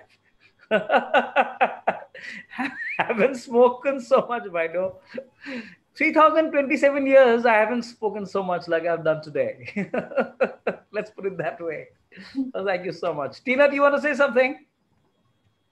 We actually running up for the day. I really want to come back tomorrow, and yeah. I, I really want to attend your workshop again because learning with you it's like a lifetime of uh, a lesson. You know, I and and I have never forgotten what you have taught me the first time. So the breathing exercises, the mapping of the stage, and everything. It's been so fantastic working with you. So I want to come back again tomorrow. I rise and take a bow on that, Tina. Thank you so much. I really appreciate that. Yes, sir. Yeah i um, i think sir has already said so much and um, just want to add a little bit. For me personally it's really been an honor because i see that a lot of you who are here are veterans and i'm not half as experienced as you are but uh, hopefully mm-hmm. I, I hope to get there someday. But uh, for me this has been more of a learning experience and uh, to contribute in whichever little way i can share a little bit that i've learned from the mistakes i've made and from uh, the experiences that i've had with wonderful people like uh, DCOM sir and the passion collective as well. Um, so I just want to share one thing about working with uh, and the Passion Collective, and which I've seen is very important, um, you know, to succeed as leaders or theater persons, whatever it may be. Um, apart from the skills that he possesses when it comes to dialogue delivery or expressions and stuff like that i, I think you would have you would all agree with me when i say that humility is one thing that really um, sets DCOMSA apart and uh, he, he keeps saying this no i, I am I'm very under accomplished and uh, you know i haven't done much. But um, it, it's really just a humble heart. And so i really honor that sir. So thank you. And um, all of you even rashmi narzary ma'am and shailaja ma'am all of you who are here um, the humility is something that has really stood out to me about each of you and something that i hope to imbibe as well. And another thing that i really liked about working in the passion collective was punctuality rehearsals would mean 5 p.m. And if I would reach at 5.01, that's late. So I, I love that about working with the Passion Collective, that if you're early, you're on time. And if you're on time, you're already late. You know, so that I feel is something that we really need to take away from this punctuality. Very important, not just for theater persons, but for just succeeding in whatever it is that we're doing. So I love that about the Passion Collective and honor that is another thing that each of the uh, crew members of the Passion Collective possess. I was, I think, probably one of the youngest. I mean, we were all young, but there were also uh, veterans like uh, Jeet Chalia and others who were a part of the play. And we were still, we still had the freedom to come and give our inputs, like Sir said, you know. But not everybody gives you that. I've worked with a few other people, and um, they, they don't really want to listen to what you have to say because your experience doesn't count. I'm like 30 years ahead of you. But with DCOMSA, that's not been there. And I think that childlike nature that he has is why he's still growing and learning.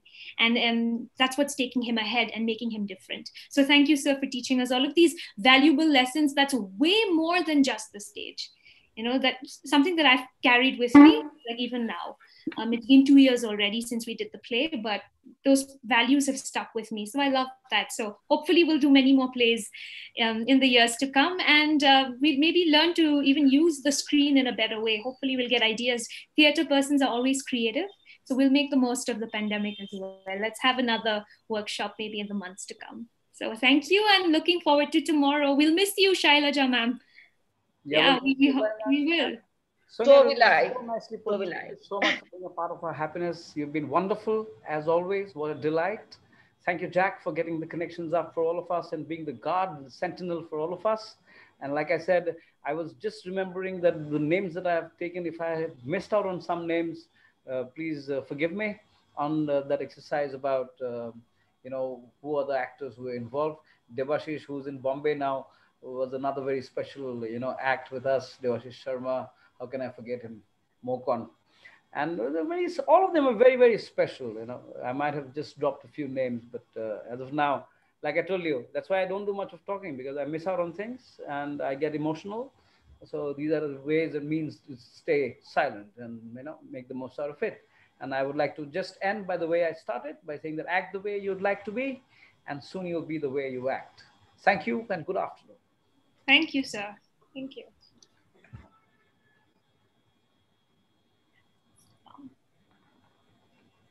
So looking forward to seeing you all tomorrow. Thank you, Ms. Reshma, for joining us. Thank you, Ms. Rashmi. Such a pleasure to meet you. Sonia, we'll get on a call later in the yeah, day. Absolutely. Yeah. All right. So, all right. Sonia, yeah. you are the host. You have to end the meeting. Yeah. I'll, should I end it for all? Yeah. Yes. Thank you, guys. Thank you. Thank, Thank you. you. Stay happy. Stay happy. Stay happy. You too. You